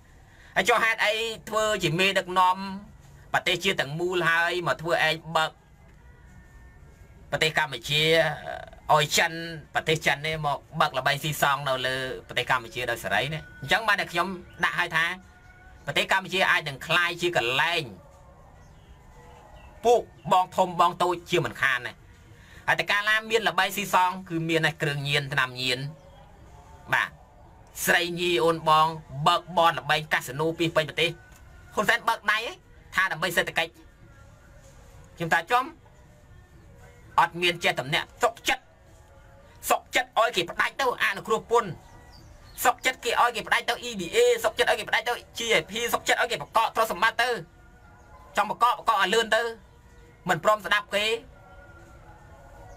សុកចិត្តលះបង់អាអាអាផលចំណេញទាំងអស់ហ្នឹងមកមកចាប់អាល្បីស៊ីសងចិននេះថាឥឡូវខ្ញុំសួរបងប្អូនថាមានដឹកនាំយូរឆ្លាតទេឆ្លាតឲ្យល្ងងបងប្អូនមកឆ្លើយមើល បាទសួស្តីបងប្អូនបាទសួស្តីបងដូចគ្នាបាទសួស្តីបងប្អូនយើងទាំងអស់គ្នាដែលអោយបេះដូងបយអីនេះបាទឆ្លាតឬល្ងងហ៊ុនសែនថ្ងៃនេះល្ងងសុកចិត្តក្តែងក្តែងប្រកាន់ចោតប្រកាន់អាមេរិកចោតប្រកាន់អីអីទាំងហ្នឹង EBA ចង់ដាច់ហើយចង់បាត់ហើយជិតដល់ថ្ងៃគេហើយឥឡូវនេះទៅចាប់ចិនចាប់ចិនឲ្យចិនបើកលបែងស៊ីសងឆ្នោតចិននៅលើទឹកដីខ្មែរខ្ញុំថាចំ ហ៊ុនសែនលេងលេងមកក្តារនេះលេងលេងលេងជ្រុលហើយបាទថ្ងៃនេះនិយាយទៅកាចប៉ុន្មានទេបាទខ្ញុំថ្ងៃនេះនិយាយទៅកាចទេមានថ្ងៃណាណាមានកម្លាំងកាយកាយខ្ញុំអានេះនិយាយទៅកាយនិយាយមួយមួយឲ្យបងប្អូនស្ដាប់បានឲ្យបងប្អូនពិចារណាហ៊ុនសែនបានបើកដៃឲ្យចិនមកដាក់ល្បីស៊ីសងនៅកម្ពុជាហើយបងប្អូនប្រុងប្រយ័ត្នឲ្យមែនតើហើយបងប្អូនគួរតែចេញវិធានការជួយនិយាយគ្នាកន្លែងនេះបាទជួយនិយាយគ្នាកន្លែងនេះ បាទជួយនិយាយគ្នាកន្លែងនេះសុកចិត្តបាត់បង់ EBA សុកចិត្តបាត់បង់ទីសានាំការអនុគ្រោះពន្ធទៅបណ្ដាប្រទេសទៅសហគមន៍អឺរ៉ុបប៉ុណ្ណាប៉ុណ្ណីមកចុងក្រោយមកចាប់ចាប់យកអាស្អីឆ្នោតចិនមកបង្កើនសេដ្ឋកិច្ចអាចអើយវាមិនដាណាប្រទេសរីចម្រើនបានដោយសារលបែងហ៎ ប្រទេសរីកចម្រើនបានដោយសារមេដឹកនាំឆ្លាតតំណាក់តំណងការទូតជាមួយបរទេសនានាអានេះមិនគេហៅថាឆ្លាតហើយឯងមកបឹកល្បីស៊ីសងឆ្នោតចិនឆ្នោតយួនថាខ្លួនឯងឆ្លាតដែរល្ងង10ចិត្តមកនេះវាមិនដែលប្រទេសណារីចម្រើនដោយសារល្បែងវិញវាមិនដែលមានអញ្ចឹងអាមេរិកប្រទេសគេដតេដតេរីចម្រើនហ្នឹងគេដោយសារល្បែងហ៎បាទហ៊ុនសែនសពសពសុកសុក មកបង្កើតល្បែងស៊ីសងយ៉ាប់មែនតែនហ្មងខ្មែរមានមេដឹកនាំឈួតឈួតអញ្ចឹងដែរអ្វីហើយបងប្អូនចាំមើលចាំមើលខ្មែរយើងកាប់ចាក់គ្នាអត្រាបណ្ណៃដោយសារចាញ់ល្បែង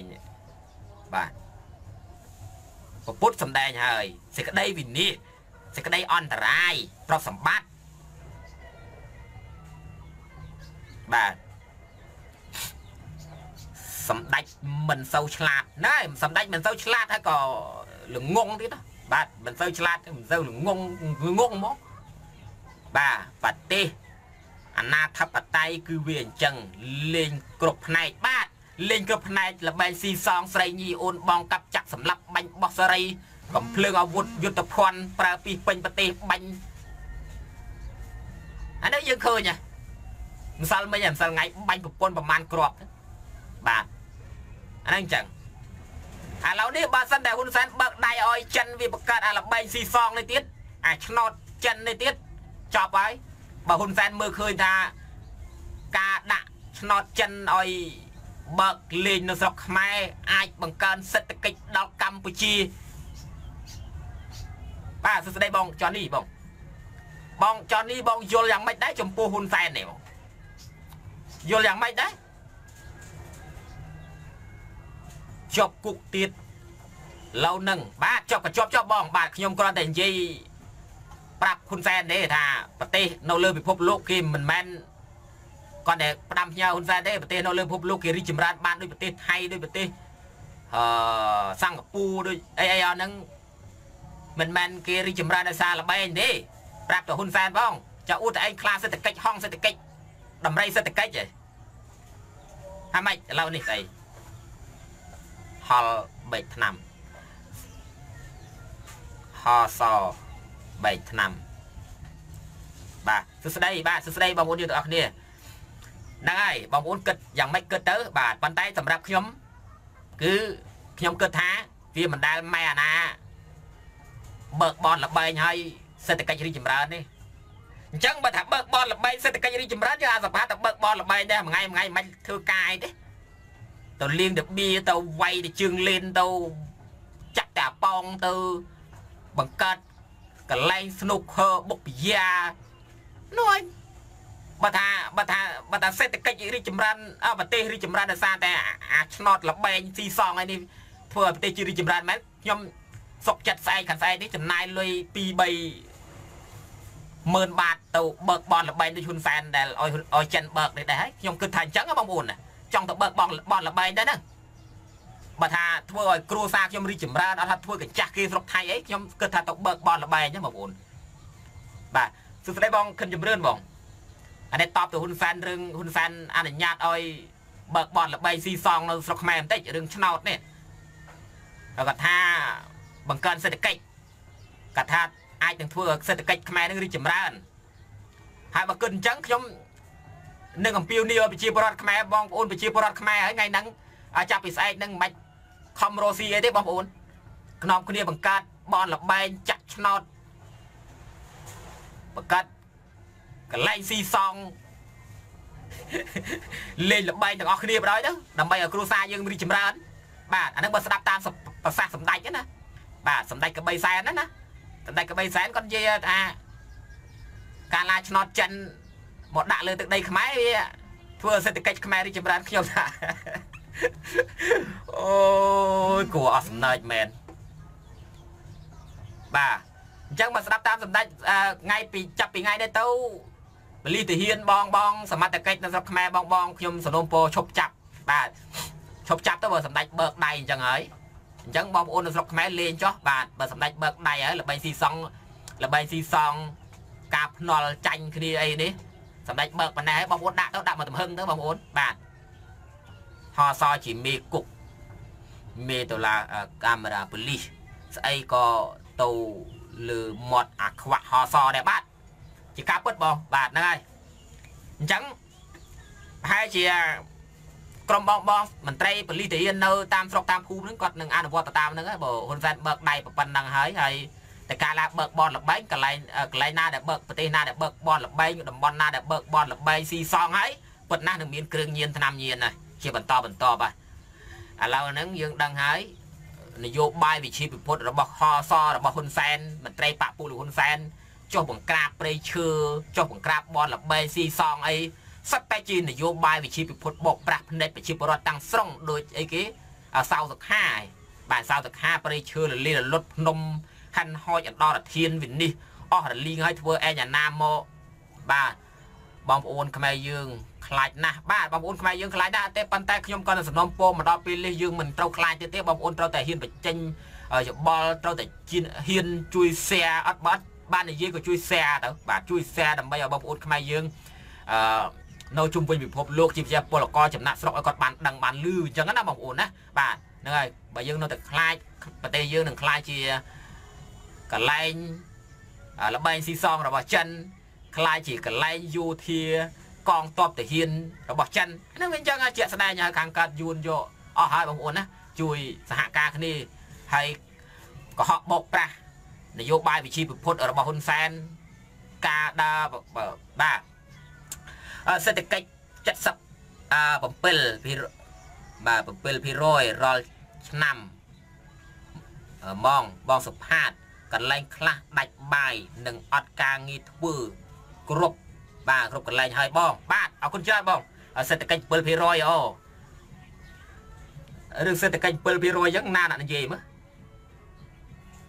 ខ្ញុំដូចឃើញអាសេដ្ឋកិច្ច7%ហ្នឹងដែរពីណាអ្នកនិយាយអត់ដែរ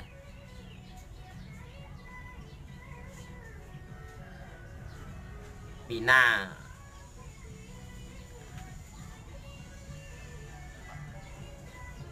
នឹងអាសេដ្ឋកិច្ច7%ពីណាអ្នកនិយាយបាត់ហើយខ្ញុំភ្លេចបាត់ហ៎ដូចខ្ញុំអត់បានបាញ់មកចូលបងប្អូនបាទអឺបងហ្នឹងហើយសេដ្ឋកិច្ច7%ប៉ុន្តែប្រជាពលរដ្ឋចំណាក់ស្រុកលហេមលហាមខ្លះដាច់បាយដាច់ទឹក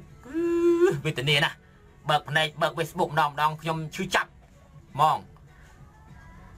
បាទហើយនេះស្អីគេកែវរមីបាទកែវរមីនេះកែវរមីមួយទៀត កែវរមី គេបាននិយាយមិនអាការ៉ូមីជប៉ុនព្រួយបារម្ភពីបញ្ហាសិទ្ធិមនុស្សនៅកម្ពុជាកម្ពុជាទលំទលាជាងគេលើសិទ្ធិមនុស្សបាទនេះកែវរមីណាបងប្អូនស្ដាប់អានេះសិតតែជាសម្ដីមន្ត្រីការទូតជាសម្ដីអ្នកនាំពាក្យរបស់គណៈបកប្រជាជនណាគេនិយាយមកចេញទៅយ៉ាងកែវរមីកែវរមីគេបាននិយាយថាកម្ពុជា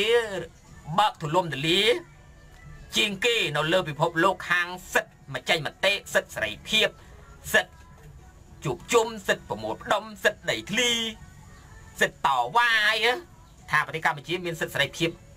បាទយុវជនពលគ្រប់គ្រងនៅប្រទេសថៃគ្រប់គ្រងលោកប្រធានសមាជិក100%បាទសម្រាប់សួរបងអូនរិទ្ធីបាទ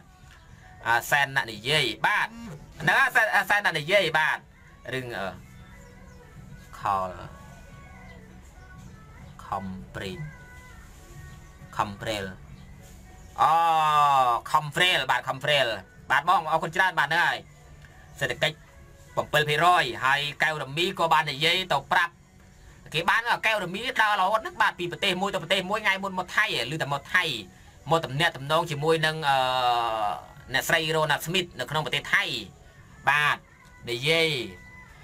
តាមការពិត របបទីក្រុងភ្នំពេញដូចជានិយាយការមិនព្រួយបារម្ភពីរឿង EBA GFP អីនេះគឺគ្រាន់តែជាការសម្ដែងទេជាការសម្ដែងចំញែងឲ្យប្រជាពលរដ្ឋហ្នឹងកុំជឿស្លងទៅនឹងការបដិអនុគ្រោះពន្ធរបស់សហភាពអឺរ៉ុបរបស់សហរដ្ឋអាមេរិក GFP អីហ្នឹងអានេះគឺជាការសម្ដែងតាមការពិតពូកនឹងភ័យមែនតើណា បញ្ជូនមនុស្សឲ្យទៅ lobby បញ្ជូនមនុស្សឲ្យទៅចរចាជាមួយគេមួយឯងក្រមតុកក្រមអីហ្នឹងប៉ុន្តែគេមានអ្នកណាគេទៅចរចាជាមួយទេបែរគេមានតចាជាមួយដូចឈៀងវុនឈៀងអីហ្នឹងកន្លងមកយើងធ្លាប់ដឹងហើយឥឡូវនេះជិតដល់ថ្ងៃជិតដល់ខែហើយគេដែលគេត្រូវនឹងផ្ដាច់ទាំងស្រុងហើយអញ្ចឹងបងប្អូនគិតមើល